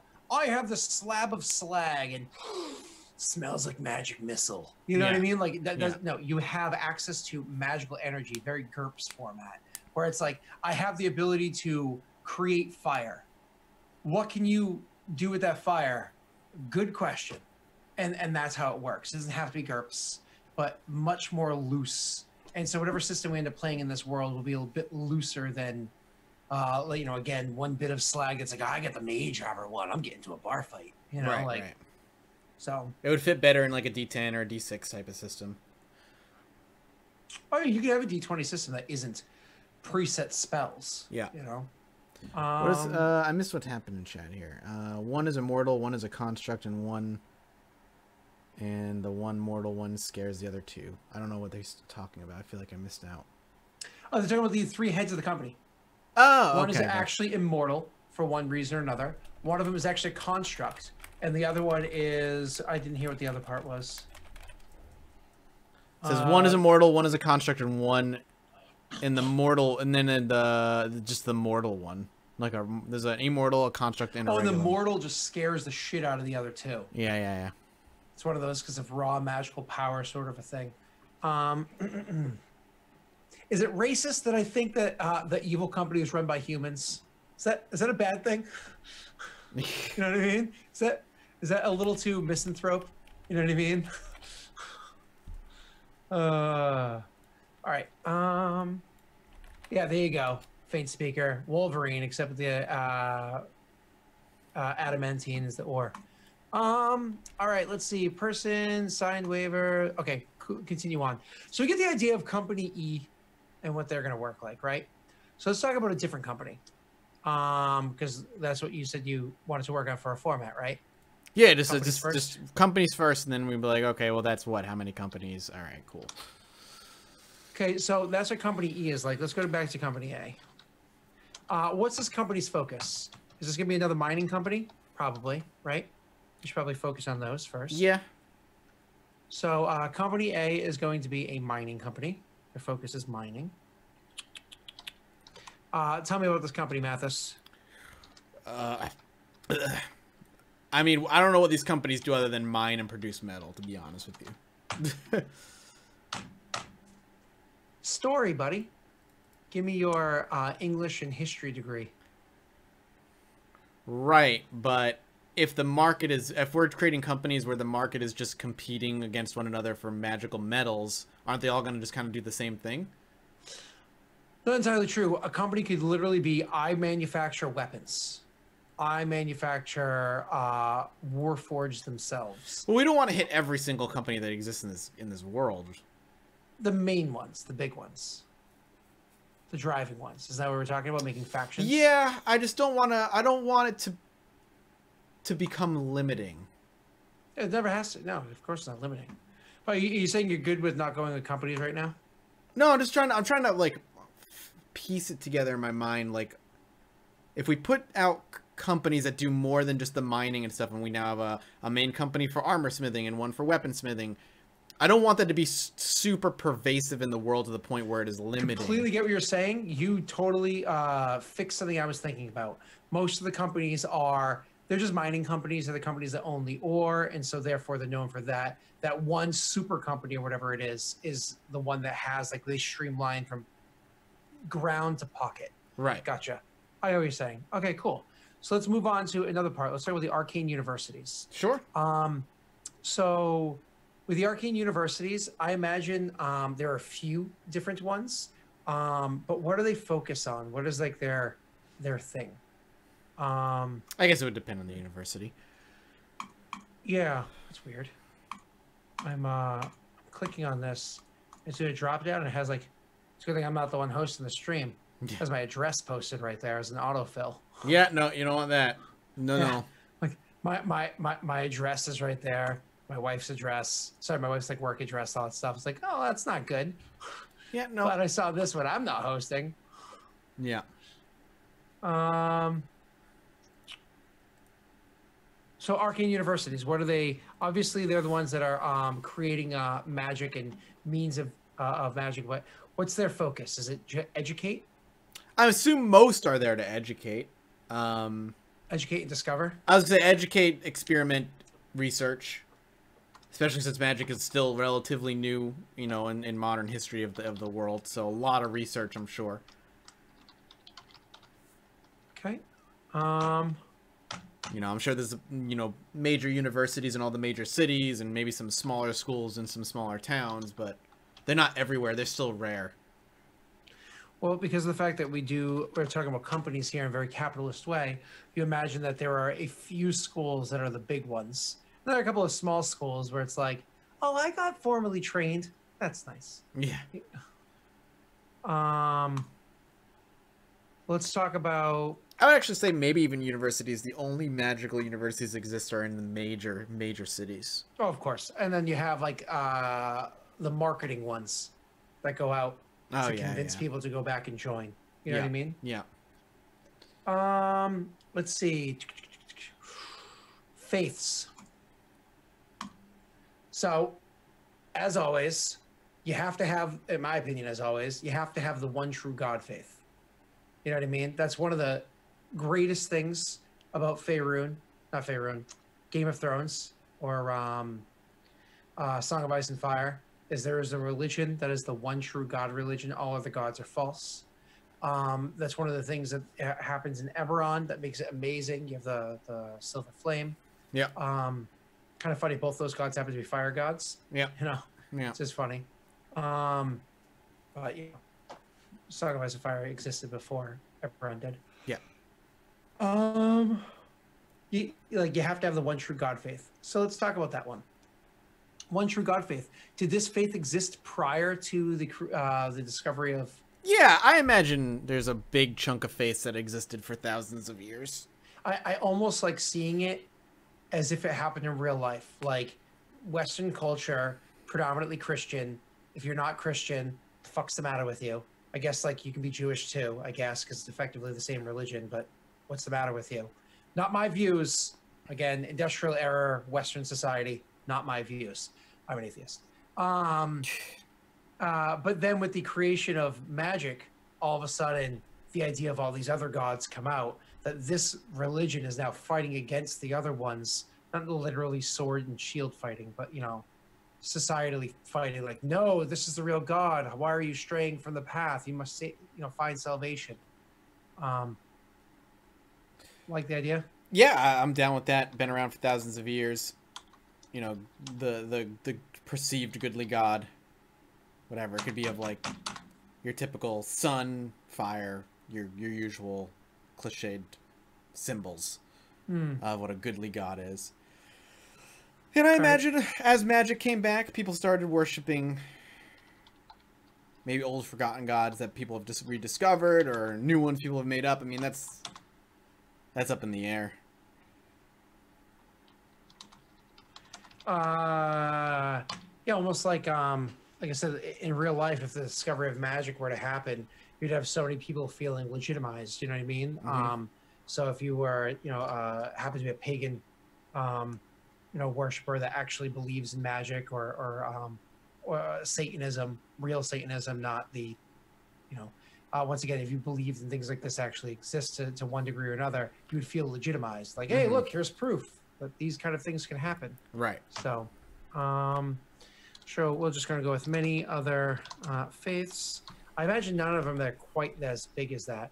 I like the idea of another like faith that's been around for a long time, uh, slightly altering to incorporate this and be like, no, no, no, this is proof that this god is, you know, da, da, da. Right. Yeah. yeah, yeah. So, um, almost like again, just trying to draw from real world things. If you had like Christianity, someone that's fighting back, like, no, this is this is demon worship. This isn't something that you can do. But then you had like Buddhism was like, nope, we're actually blending this right in, and we're gonna, gonna ride this gravy boat home and really spread our faith. It's like, ah, wow, the the Buddhists are are really opportunistic. Good for them. So, um, um.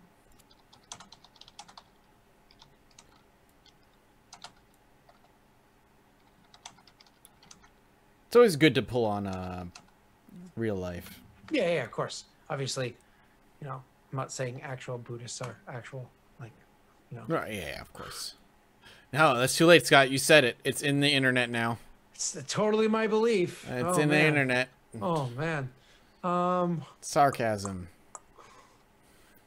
do I just like use my green screen to put like Kappa in the background? I mean, maybe it might be the best way to go sometimes with some of the people Yeah. that watch stuff. just always there flashing around. I'm gonna let you keep talking to the internet. I'm gonna go and go to the bathroom real quick. Somebody's got a bladder problem. Yeah, it's called getting old. Check your prostate, I'm gonna, you know, stick a finger up there. or have a trained professional do it. No, I'm just gonna stick my home finger up there and feel. I I mean, that's. You, I mean, or have your significant other do it. You know. Um. Uh. Any any takers? Anybody in chat? So uh, one other just just blended the.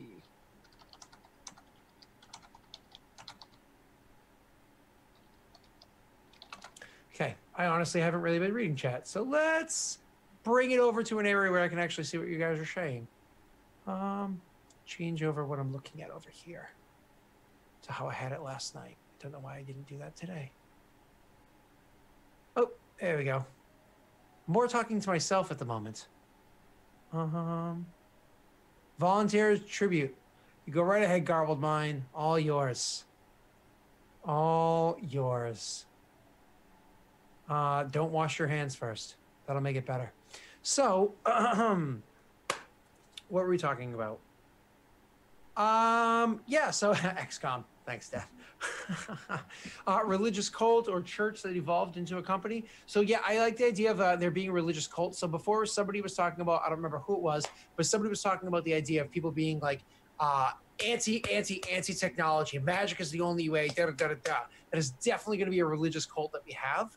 Um, I'm actually, you know, um, so anti tech cult. Uh, I imagine that they'll be working on some sort of um, so they'll have some sort of god that tells them that that's what they're supposed to be. Uh, the idea of there being anti-magic peoples. Um, so I, I definitely see that happening. Um, again, that happens in real worlds where people uh, use um, their religion to stop uh, technological developments happening, whether they be medical or otherwise. In real life, I imagine things like that would happen there too because of whatever um, uh, ethical beliefs that they have from their religion impacting what they feel as though magic or technology can do. Um, uh, you know, obviously one or the other. You can't be like, I'm against both, um, unless you're like some tribe off in the middle of nowhere. Um, so we'll go anti-magic group. So I imagine the anti-magic group, uh, unlike the anti-tech cult, the anti-magic group might have like a cult as like a part of it. There's also gonna be like a big um, uh, group around the um, like this is gonna be kind of a movement, it's like an anti-magic movement. So it's not like a little cult. It's actually gonna be like a, a much much bigger thing. Um,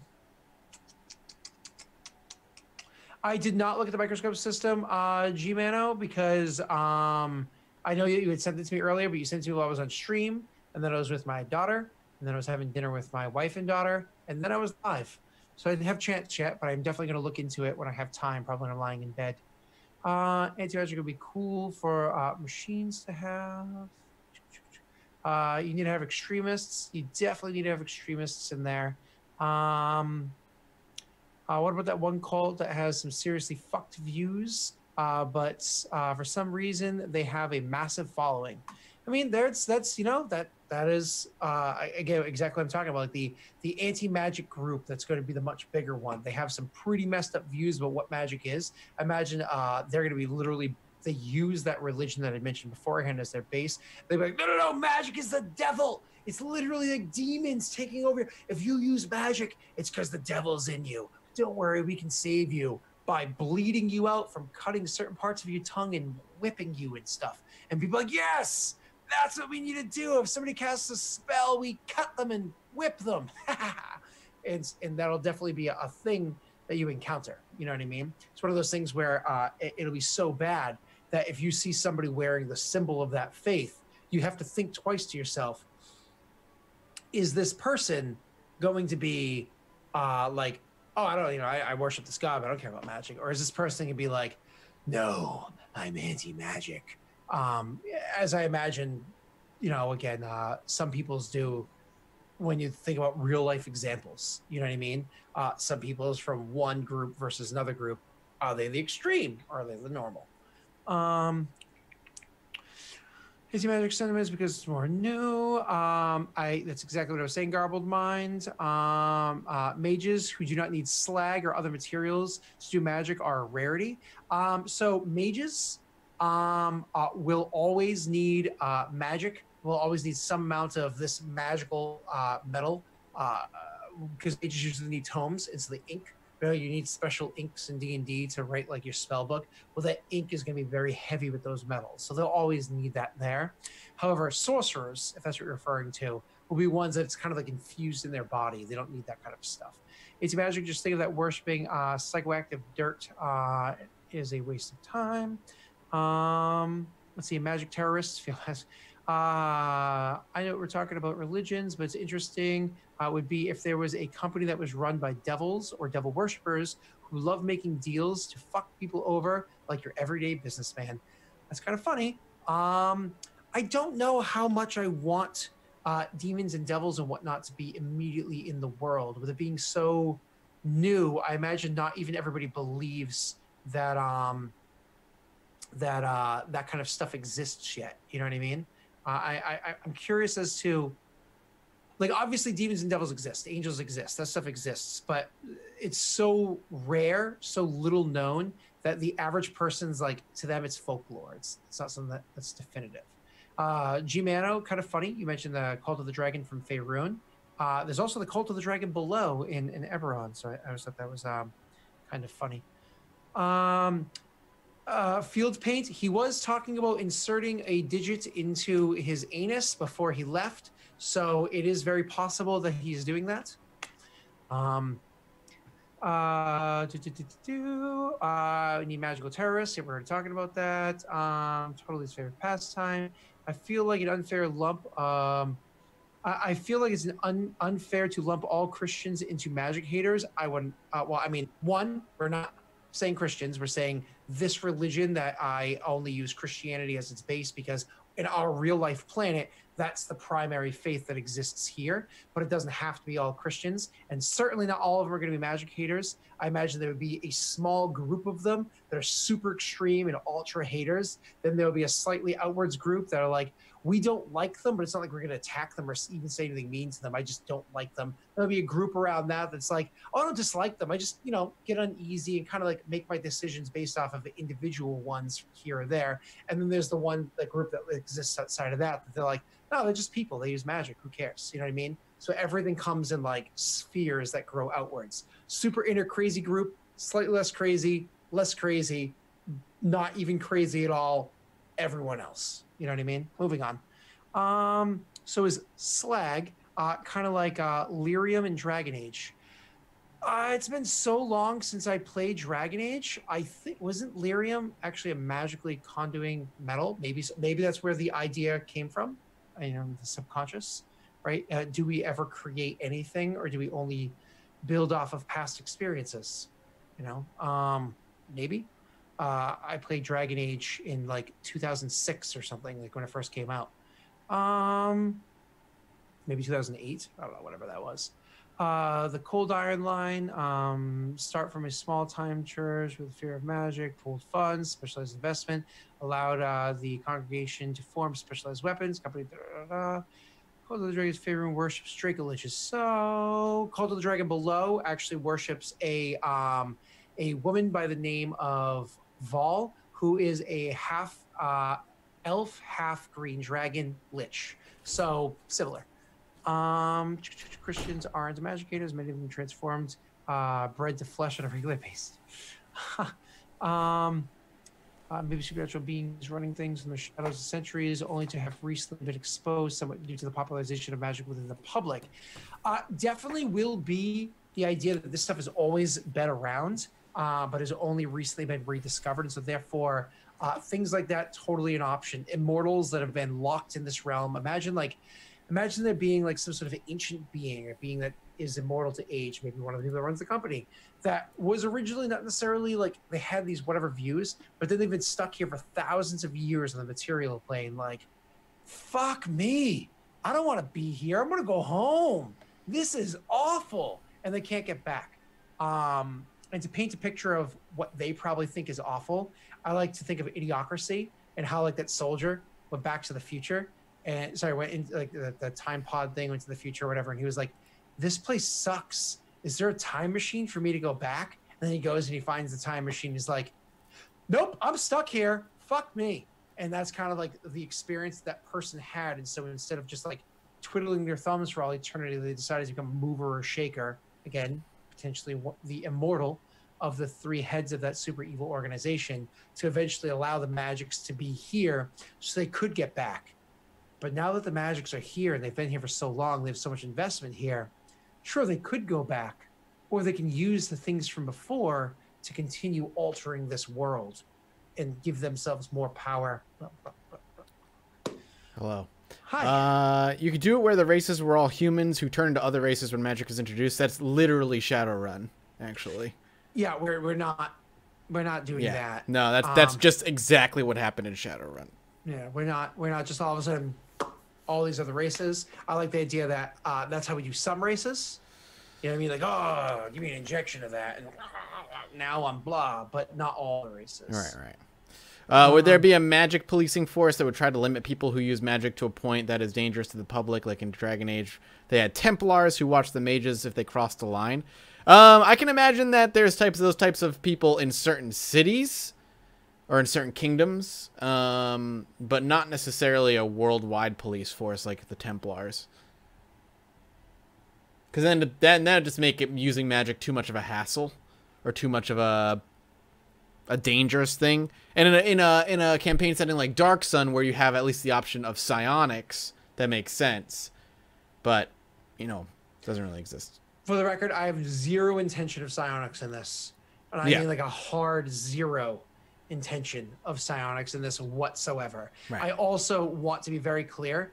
I, I see there being no division between arcane and divine and nature magics. No division between them whatsoever. Magic is magic. When magic came back, divine power came back, and arcane power came back from those concepts that you're probably already familiar with. Um, the fact that you use it in the name of of Jeebus versus um, uh, your arcane congress don't care. Uh, magic is magic. Um, slap labels on it if you'd like. Yeah. So, um, did you wash your hands, Mike? Always. Good. Just making sure. Um, what am I, a Neanderthal? You, you don't know if Neanderthals had good, you know. That's true. I don't know. I mean, why are you judging, man? It's true. I can't judge those who don't exist any longer. Speciest? You know right? what I mean? Jesus. Lyrium in Dragon Age is a type of metal ore looking thing that's toxic to humans and elves, but dwarves are naturally resistant to it for spoiler reasons, and its refined liquid form gives mages their powers. That's right. Again, I haven't played Dragon Age in fucking ages. Okay. Yeah, me either. I played Origins when it came out, loved it. Played Dragon Age 2, hated it, and then never. And I like. I think I played the new one for like an hour, and I was like, no, I'm good. Speak of blah. But did he wipe? Uh, that is that is a question I will not answer. Well, I, will gladly answer that question. He has a bidet because he likes that tickle. That's true. There you go. Squirt me in the butthole, please. Thank you. I won't lie. The first time I ever saw a bidet was when I was in Paris, and I was like, "Whoa, this is a thing." For all my traveling, like, I've actually never never used a bidet before. Well, used and saw are two very different things. That's true. That's true. So, I hear once you use one though, you don't ever want to go back again, I'm not here to judge. I don't give a shit what you do. Ah, that's so. just I'm just saying it's what I've heard, man. I don't know. Um, I can't tell you. But moving on, so uh, moving on from the shitty conversation. Uh, ha ha ha ha. Uh, sorry. You better be. Um. All right. Where's where, where are we just going? I don't know. Religions is where I was, where we were before I left. Oh, we were talking about religion pretty much the entire time. Somebody was concerned that I was lumping Christians in with all magicators, and I was like, "What? No, that's not at all what I'm saying." And then we talked about like circles of of that whatever. Gotcha. Am I gonna regret putting this up on YouTube? Is my question. No, All right, that's all I care. I'm like, why would you? Um, can we have a church of thunk? Yes, yes, we can. we will certainly. We actually can have a yeah, church. it's of called Thunk. Twitch chat. funny. funny. It would be funny if our community was instead of the Lost Initiative was actually called the Church of Thunk. There you go. That, that it would be funny if the All Lost hail. Initiative community was called the Church of Thunk. Um, I you know. Uh, For a, a, a, a tithe of five dollars a month, you too can join the Church of Thunk. well, that's only the that's only the the lowest rung. Right, of the, course. On the, yeah, on the ladder. Thonk of runs a pyramid scheme. Uh, uh, well, it's not a pyramid scheme, man. Are you are you telling me that Scientology is a pyramid scheme? Uh, no, of course not. Why Uh, that? absolutely. Why would you shit on why would you shit on a religion like that? You just have to pay exorbitant amounts of money to be um, seen as holy enough to get Right. to the next to, to, to be enlightened. Right. Yes, enlightenment costs in more ways than one. Um. All right. So, have you considered the existence of wild magic? Uh, I imagine all magic is wild. Um, in this world, as much as I hate wild magic in a D and D concept, I imagine all my magic is wild, and it's the control that um that allows people to do otherwise. You know what I mean? Mm. So, uh, my point of this is, um, we're not casting spells like in D and D um, whatever system we choose to run in. I like the idea of GURPS. Doesn't have to be. Um, uh, magic is going to run on like a, a scale. So if your magic is weaker, if you have lower quality of magic, you could roll poorly and bad things happen when you don't expect it to. Um, that's the campaigns book. Give me two seconds. Okay. Book right there. Is he going to get GURPS? What is the money that he's going to get GURPS book right now? It's the third edition one because it's the one that's right Told next you. to me. Told but you. Told you. what you say? Nothing. What did he say? I didn't say anything. I just, I didn't say anything. Mhm. Mike, I haven't seen your face real life since PAX East. Yeah, uh, I had no car for a while. I know. Listen, we're gonna have to. I'm gonna have to lure you to my house with uh with some uh Hawaiian pizza and um And a and live game of D and D. Yeah, a live game of D&D, a really really wimpy beer. Um, you know what I mean? Give me some apple apple cider. Oh, there you go. There you go. We'll give you uh we'll give you like a, a super chick drink. Like There you go. uh, Perfect. yeah, like a hard cider. But like not even like a good hard cider, like a 3.2% alcohol hard cider. Well, I got Yeah. myself a car now. Did I tell you what I bought? Yes, but I don't remember. Because I'm an old man. I just bought a 2016 Corolla. There you go. Thing will I mean- hopefully last me forever. I still have. Well, no, I still have. I have a Civic. So I Yeah. went from my my '97 Civic to my 2012 Civic. Exactly. I went from my 2000 Corolla to my 2016 Corolla. Do not pass Done. go. Do not collect two hundred dollars. Right? Yeah, cheap and and, they say millennials don't have brand loyalty. Uh, spiked apple juice? Hell yeah, dude. Now you're talking my language. So by spiked apple juice, he means he means a tall glass of apple juice that looked at a bottle of liquor, Right. like sat next to it for a few minutes. No, you you got me really I drunk know. once with I like know. pineapple juice or some crap. Pineapple and cranberry takes away the flavor. Yeah, I couldn't taste anything but the juice. You're welcome. You hid my drink on me, aka you put it on a shelf and I didn't realize it. And you told me you hid it and I couldn't find it. I was obnoxious back with drinking in the day. My favorite thing to do during like parties is if somebody was like left their beer sitting around. It's not anybody, but like good friends of mine. If they left their beer sitting around, I'd pour peach schnapps into it Why? because it was funny. and, and then you know, you wouldn't waste the beer. So you'd be like, you you'd be you'd be you could be drinking like a shitty beer, like I don't know, a Natty Ice light. Yeah. and I'd be like, it tastes like peaches. That's true. It would Uh, just but- the, the the flavor would overtake it. Occasionally, it would be like a Guinness, and you'd be like, my Guinness tastes like peaches. I have never, however, I am proud. I have never vomited from drinking. Uh, I have. Uh, I used to be able to say only twice ever. I got old. I was gonna say, once you get old, your tolerance just goes down. I forgot why magic was. It's bothering me. Um, yeah, I've never, I've never. I think that night I woke up the next morning with like a headache. I I, I vaguely remember feeling not great, but I didn't puke. So Good for you. puking is like my biggest fear ever. I hate doing it. Oh yeah, I hear you. Uh, like I'd rather like even when you know if you puked, you'd be fine. Like so much Yep. better, so much quicker. You're like, But I'd rather I just, endure I just want to suffer. Yeah, yeah, that's it. Honestly, I'd rather suffer. Then you get a little bit older, and you're like, Just get it out. or or, or I can just feel I- better. I have responsibilities, and I really should get to those.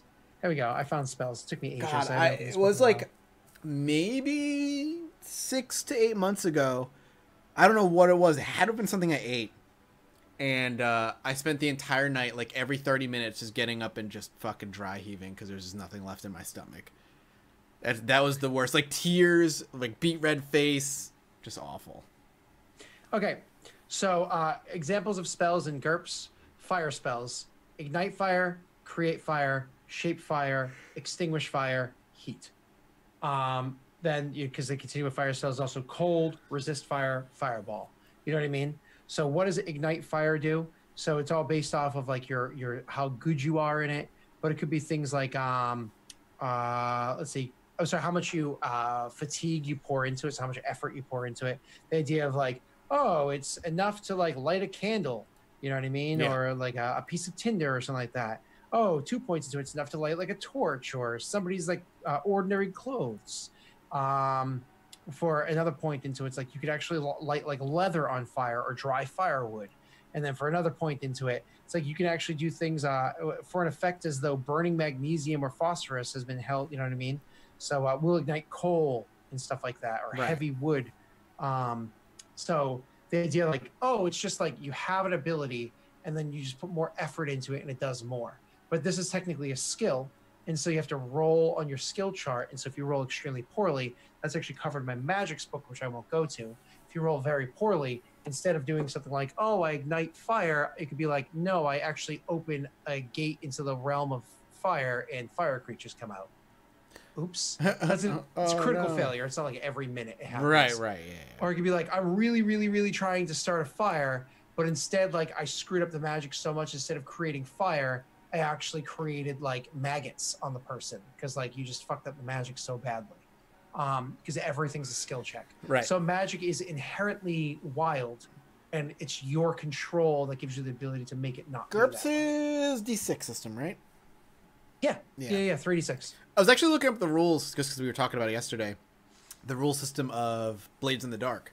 Blades in the Dark operates very similar to GURPS. I think you're gonna Mhm. like it. It's a D6 system, and it's variations of just succeeding or failing, and what can happen when that happens. So somebody mentioned this in chat that um, uh, Mouse Guard was more or less a dumbed down version of Burning Wheel, and like I remember them saying that in chat, and I was on Roll Twenty earlier, just kind of like looking at the different sheets that they have there, and it's literally a subcategory of Burning Wheel. Oh, really? Mouse Guard, and I was like, oh, okay, no, it's literally it might even be the same creators, uh, like it's literally a dumbed down version of Burning Wheel. So I thought that was cool. That is cool. So um, did you? Did you said you already bought the book, right? Yeah, book's on the way. Cool, cool, cool. So we'll like look at the rules for that. Yeah, I'm, I'm, I'm excited to, to go through it again. It, it seems to be a very uh, open-ended success failure and in between system like Fantasy Flight, D10, that kind of thing. It seems like a lot of games are going that direction now with uh, with tabletop, with the exception of obviously of D and D because D and D kind of has to ad- adhere to D20 system. they kind of just they kind doesn't have to. It's just they do they want to reinvent the wheel? right. You know what I mean? They don't have to do anything, right? Yeah. So um, I mean, well, you know what they have to do? They have to do what's going to generate more profits. Right. That's what Yeah, they of have to do. Yeah, yeah, yeah. So um, uh, all right. So, anyways, keep going. Um, what are other things that we want to kind of? Because I like the idea of these basic faiths we talked about. What's this other categories I have? Talk about factions. Talk about faiths. Talk about the planet con- um, content, whatnot's being created. Uh, tech. So let's talk about tech. Sure. Um. Let's talk about. Uh, we already know uh, weapons in general. What we have there. So you have pretty much everything you have in a typical steampunk world: swords, bows, crossbows, hammers, axes, Pistols. uh, g- pistols, uh, muskets, um, cannons, stuff like that. But let's actually talk about the firearms themselves. Do you have an automatic rifle as an option, or is that like a seriously powerful magic item? do you your pistols are they one shot or are they like six shooters like revolvers? Uh, your your rifle is it a musket or is it bolt action, um, or is it is it self loading? You know what I mean? Like, what's your idea? Uh, I don't see like an automatic, like rifle, like a machine gun. Really, uh, if those exist, I would consider them powerful magical items, quote unquote. Um, however, I don't see pistols being a one-shot thing. I do see pistols being more multiple shots before you need to reload. Um, I'm actually going through. I understand muskets aren't rifles, but muskets are the precursors to rifles. Correct. Muskets are your two-handed firearm that could shoot a ball uh, with better accuracy than the sh- smaller version of themselves. You know what I mean? Like I understand not the same, but again, it's the precursor. So are we in the day and age where there are just still muskets, or do we have rifles? It says my internet connection's unstable again. Yeah, you're going I'm- in and out robotic. I am really annoyed with Comcast. I'm gonna have to call them at like w- whenever we hang up with this. Yeah, yeah, yeah. Well, yeah. Let, let's uh, let's finish out the basic uh, uh, basics of, of the world building before we wrap it. So, so uh, talk to me about um, firearms. I'm, I'm actually going you through like the. a six shooter, like a revolver, right? I like that idea. Yeah, I'm actually trying to get down to um, Iron Kingdom. I'm in. I'm in the book. I'm just looking for uh, gear. weapons. Oh, feet point, good combat movement. Where's the shit? Where's shit? Gear, ranged weapons, 260. 260.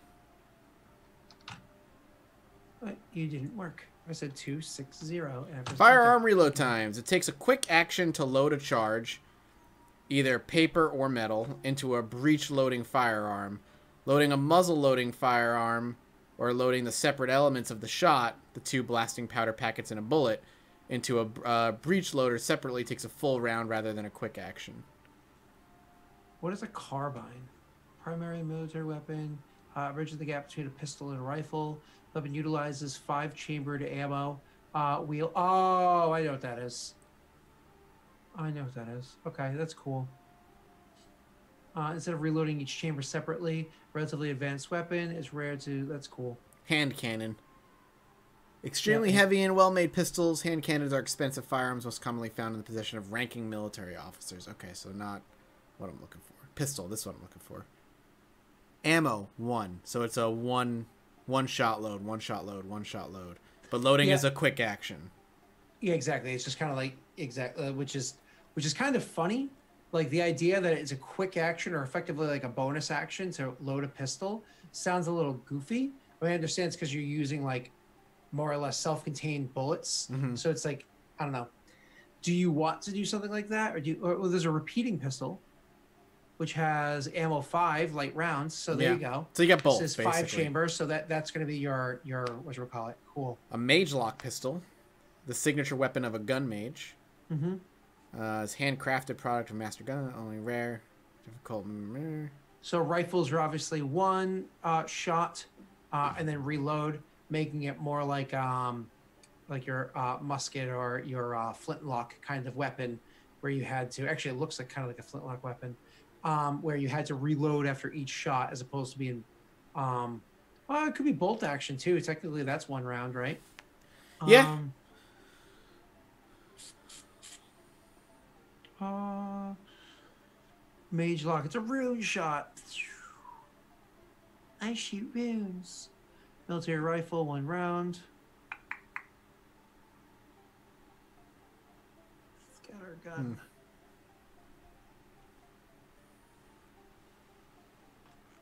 Don't mind me as I read. Yeah, so I'm doing the same thing. Do you see this repeating sword cannon? I think I did see sword cannon. Slug gun? Oh my god. There's also an axe gun. Uh, up up uh, earlier. Heavy sword cannon. So funny. Yep, Vance. They'll be on the YouTube channel. Alright, A- cool. uh, where's the axe gun I saw? I want to see what that. So there, there will be flintlock and there will be revolvers. Um, but what's the basic? What's like, hey, there's a random NPC you're coming across, and he looks threatening as he moves his weight, his you know coat open. Do you see a flintlock or do you see a revolver? Uh, like what's most common is what you're saying. Yeah. I'd say flintlocks are probably more common. Gotcha.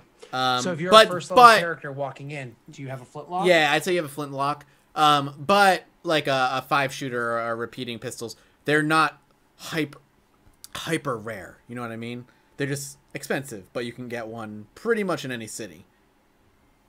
Gotcha. As opposed to like a machine gun, which I would say fucking doesn't exist unless you're, you know, magic item style. Yeah, yeah, yeah. It's like crazy magic that makes it so it, you know, da da da da da da. Yeah, yeah, Yeah, I gotcha. yeah. Yep. cool. So uh, flintlock is the most common, with revolver being immediately after that. And you're gonna have that same idea with um with a gun, yeah. uh, with a rifle, Yep. um, or or whatever. And I understand that uh, Mathas and I are using relatively uh, loose terms when there are very very specific definitions to to the different words that we're saying. But meh, you know what I mean? We're just talking about concepts, not about the exact weapons. Yeah. This I'm is like no means a weapons expert. This is like if we were gonna go full out world building. This is like step one of like thirty sessions of building this place. Like this is like laying down concrete. You know, Mm-hmm. for for that's all. So we're just trying to get concepts on paper. Uh, laying concrete. We're uh, barely mixing the. Yeah, we're like water. digging the hole where we're gonna put the concrete at some point. Yeah. Um, you know, just the basic timeline, basic idea, that kind of thing. Don't really want to get too deep into the complexities of cities and stuff right now. Cool, cool, cool. All right. Yeah, American So, um, West 1911 style, where flintlocks are more common, but repeaters and stuff exist. They're just a little expensive. I mean, in 1911, weren't there revolvers? Yeah, Revolvers existed before 19. uh, Revolvers existed in the 1800s. similar, like that, around that Like- era. Like, what Western movies take place in what year? Like early 1800s, don't they? I Like, if you're thinking like, ya. you know, I don't want to see you coming back into my town, son. You know, like revolvers, right? let's find out when Tombstone took place. There you go. You looking it up? All right. I'll Yeah, you when did Tombstone take place? Which I only recently saw last year. Really? Yeah, it wasn't that good. There's a remake too. Uh, 1881. There you go.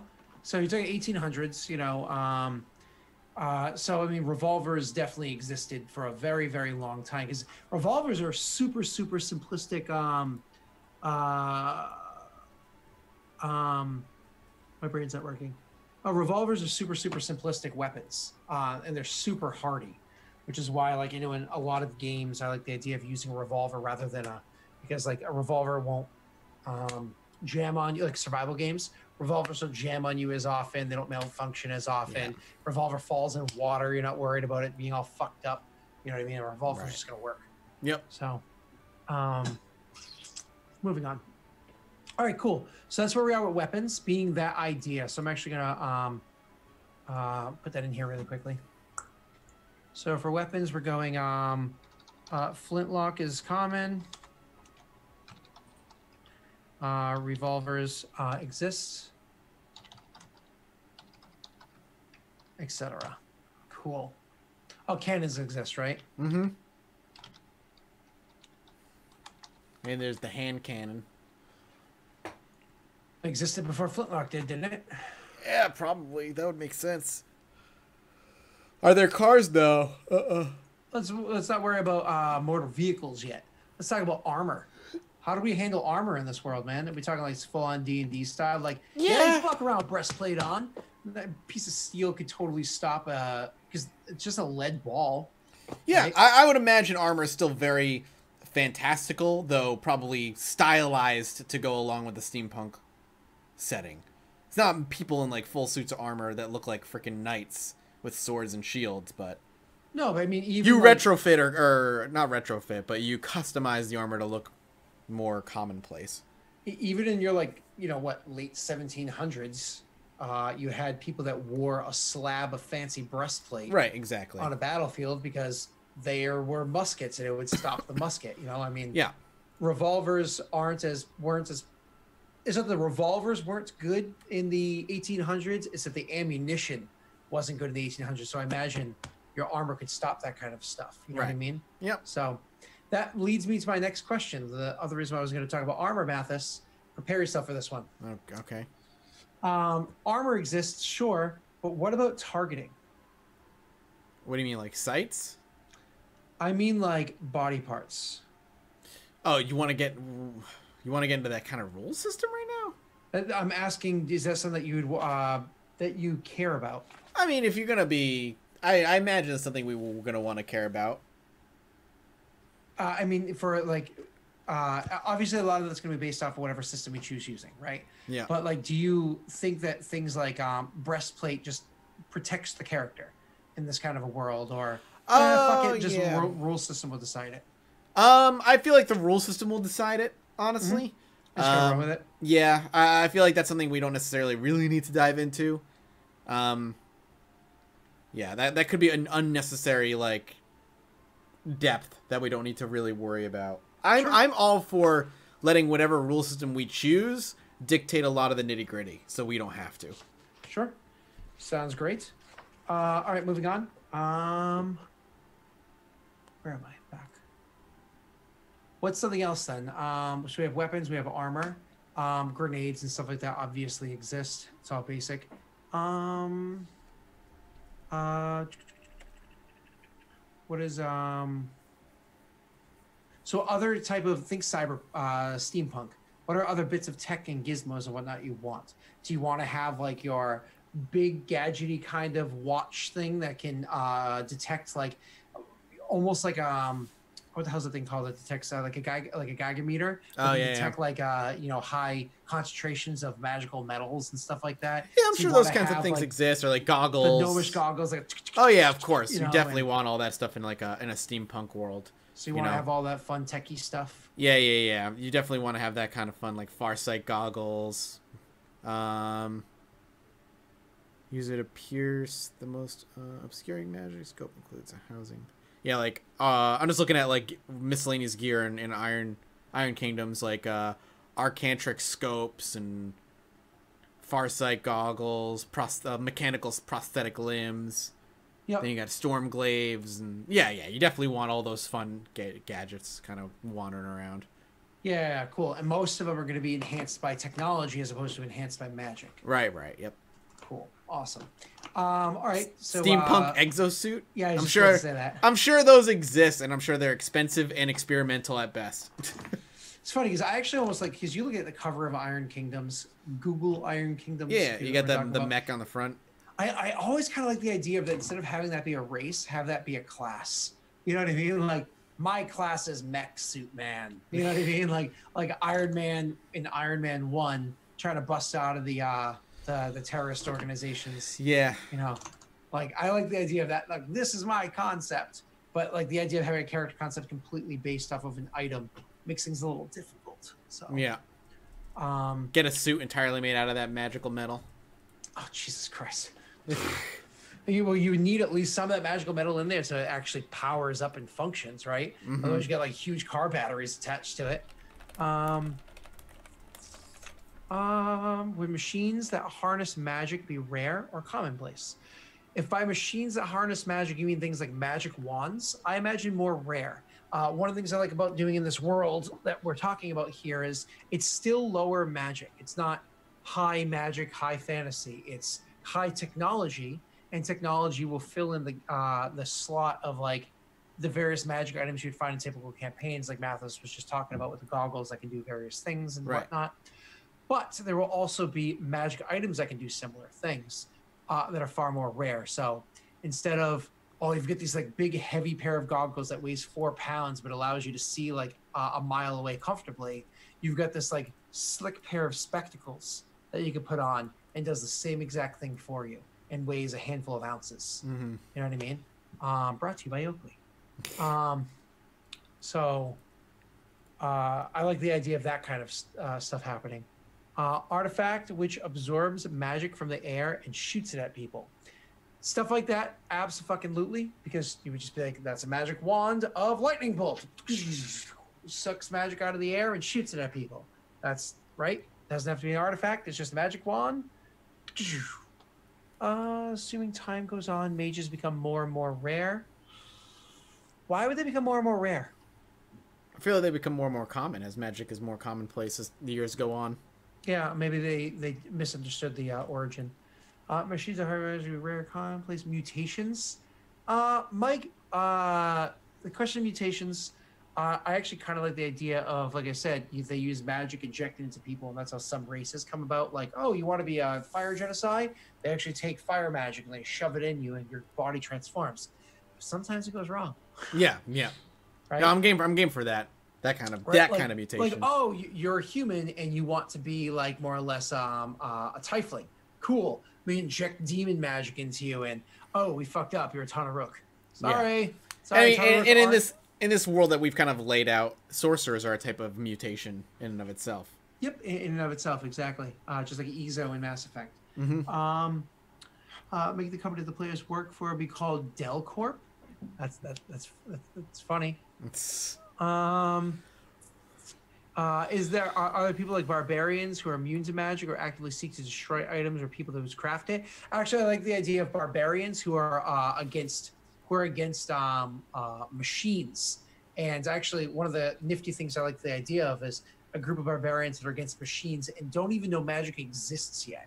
They're not even aware of it.